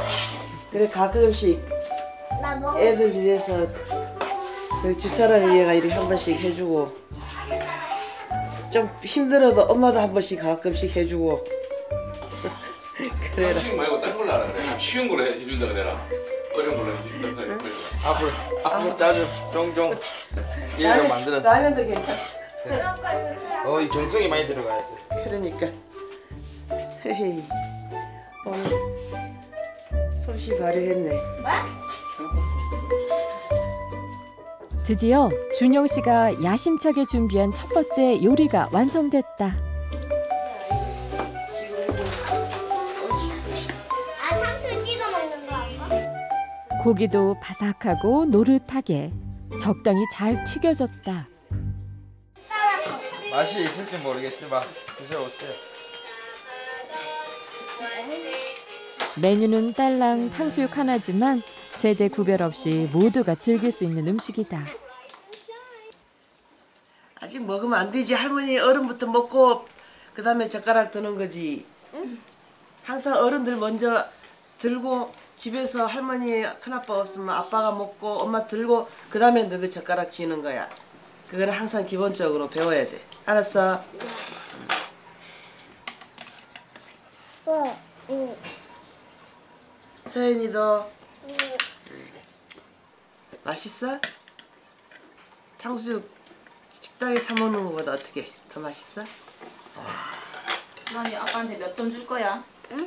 아빠한테 점수 몇 점 줄 거야? 100점. 100점? 우와. 어, 아빠 성공했네. 우와 얘는 100점 준대. 응? 주한이가 100점 준대. 아빠 손 됐어? 자주 해줘야겠네 이제. 성공했네. 어린이 입맛엔 100점. 그렇다면 어른 입맛엔 먹어봐 너도.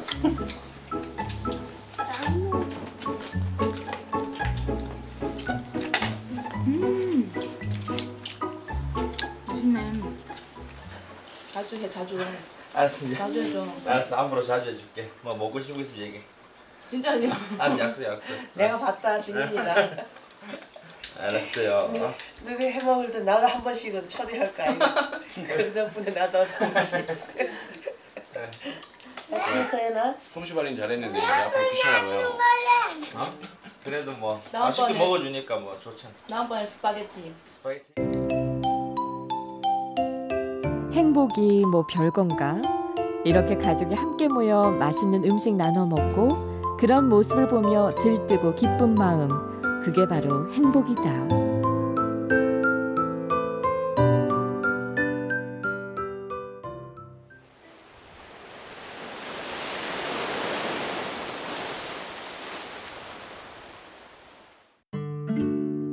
다음 날 아침 조업 나갈 준비를 서두르는 형제. 아직은 실수도 실패도 많은 초보 어부지만 어제보다 나은 오늘, 오늘보다 나은 내일을 믿기에 바다를 향하는 마음은 늘 기대와 설렘이다. 일단 지금 현재보다 조금 더 발전하고 싶기도 하고 아직까지는 서투니까 요걸 이제 확실하게 내 걸로 만들어야 아버지가 이때까지 하셨던 것처럼 저희도 그렇게 하려고 노력은 하는데 그게 쉬운 게 아니더라고요 해보니까. 차차 점점 아버지처럼 돼야죠 이렇게. 우리도 그만큼 노력을 해서. 항상 바다에 나가서 뭐 새벽에 이렇게 뭐 힘들고 이럴 때 보면 이제 아버지 많이 생각나거든요. 이 배로 인해서 아버지 생각도 많이 나고 기억도 많이 돋고 하니까 뭐 아버지를 함께 한다는 그런 생각이 많이 들어가지고 저한테 뭐 그렇게 저도 이제 뭐 제 분신 같은 뭐 그런 존재를 돼가고 있는 거죠. 아버지가 함께 한다 이런 생각 마음도 많이 들고 와이프랑 애들도 나 하나 믿고 들었으니까 자상한 아빠가 되면서 일도 열심히 하고 그런 아, 아버지로 살고 싶어요. 갈게요. 대문을 잡아올게.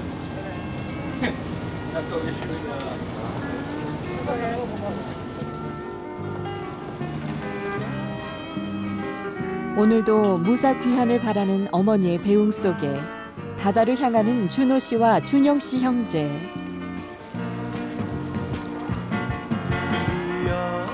서로를 동행 삼고 아버지의 노트를 나침반 삼아 자신들만의 항해를 시작한다. 100점밖에 안 받았어요. 살다 보면 만선의 기쁨을 누리는 날도 빈배의 좌절을 경험하는 날도 있을 것이다. 그러나 믿어주고 지켜봐주는 서로가 있기에 형제는 지치지 않고 함께 나아간다. 초보 어부가 베테랑 어부로 거듭나는 그날까지 동해 바다를 누비는 좌충우돌 형제 바다이기는 계속된다.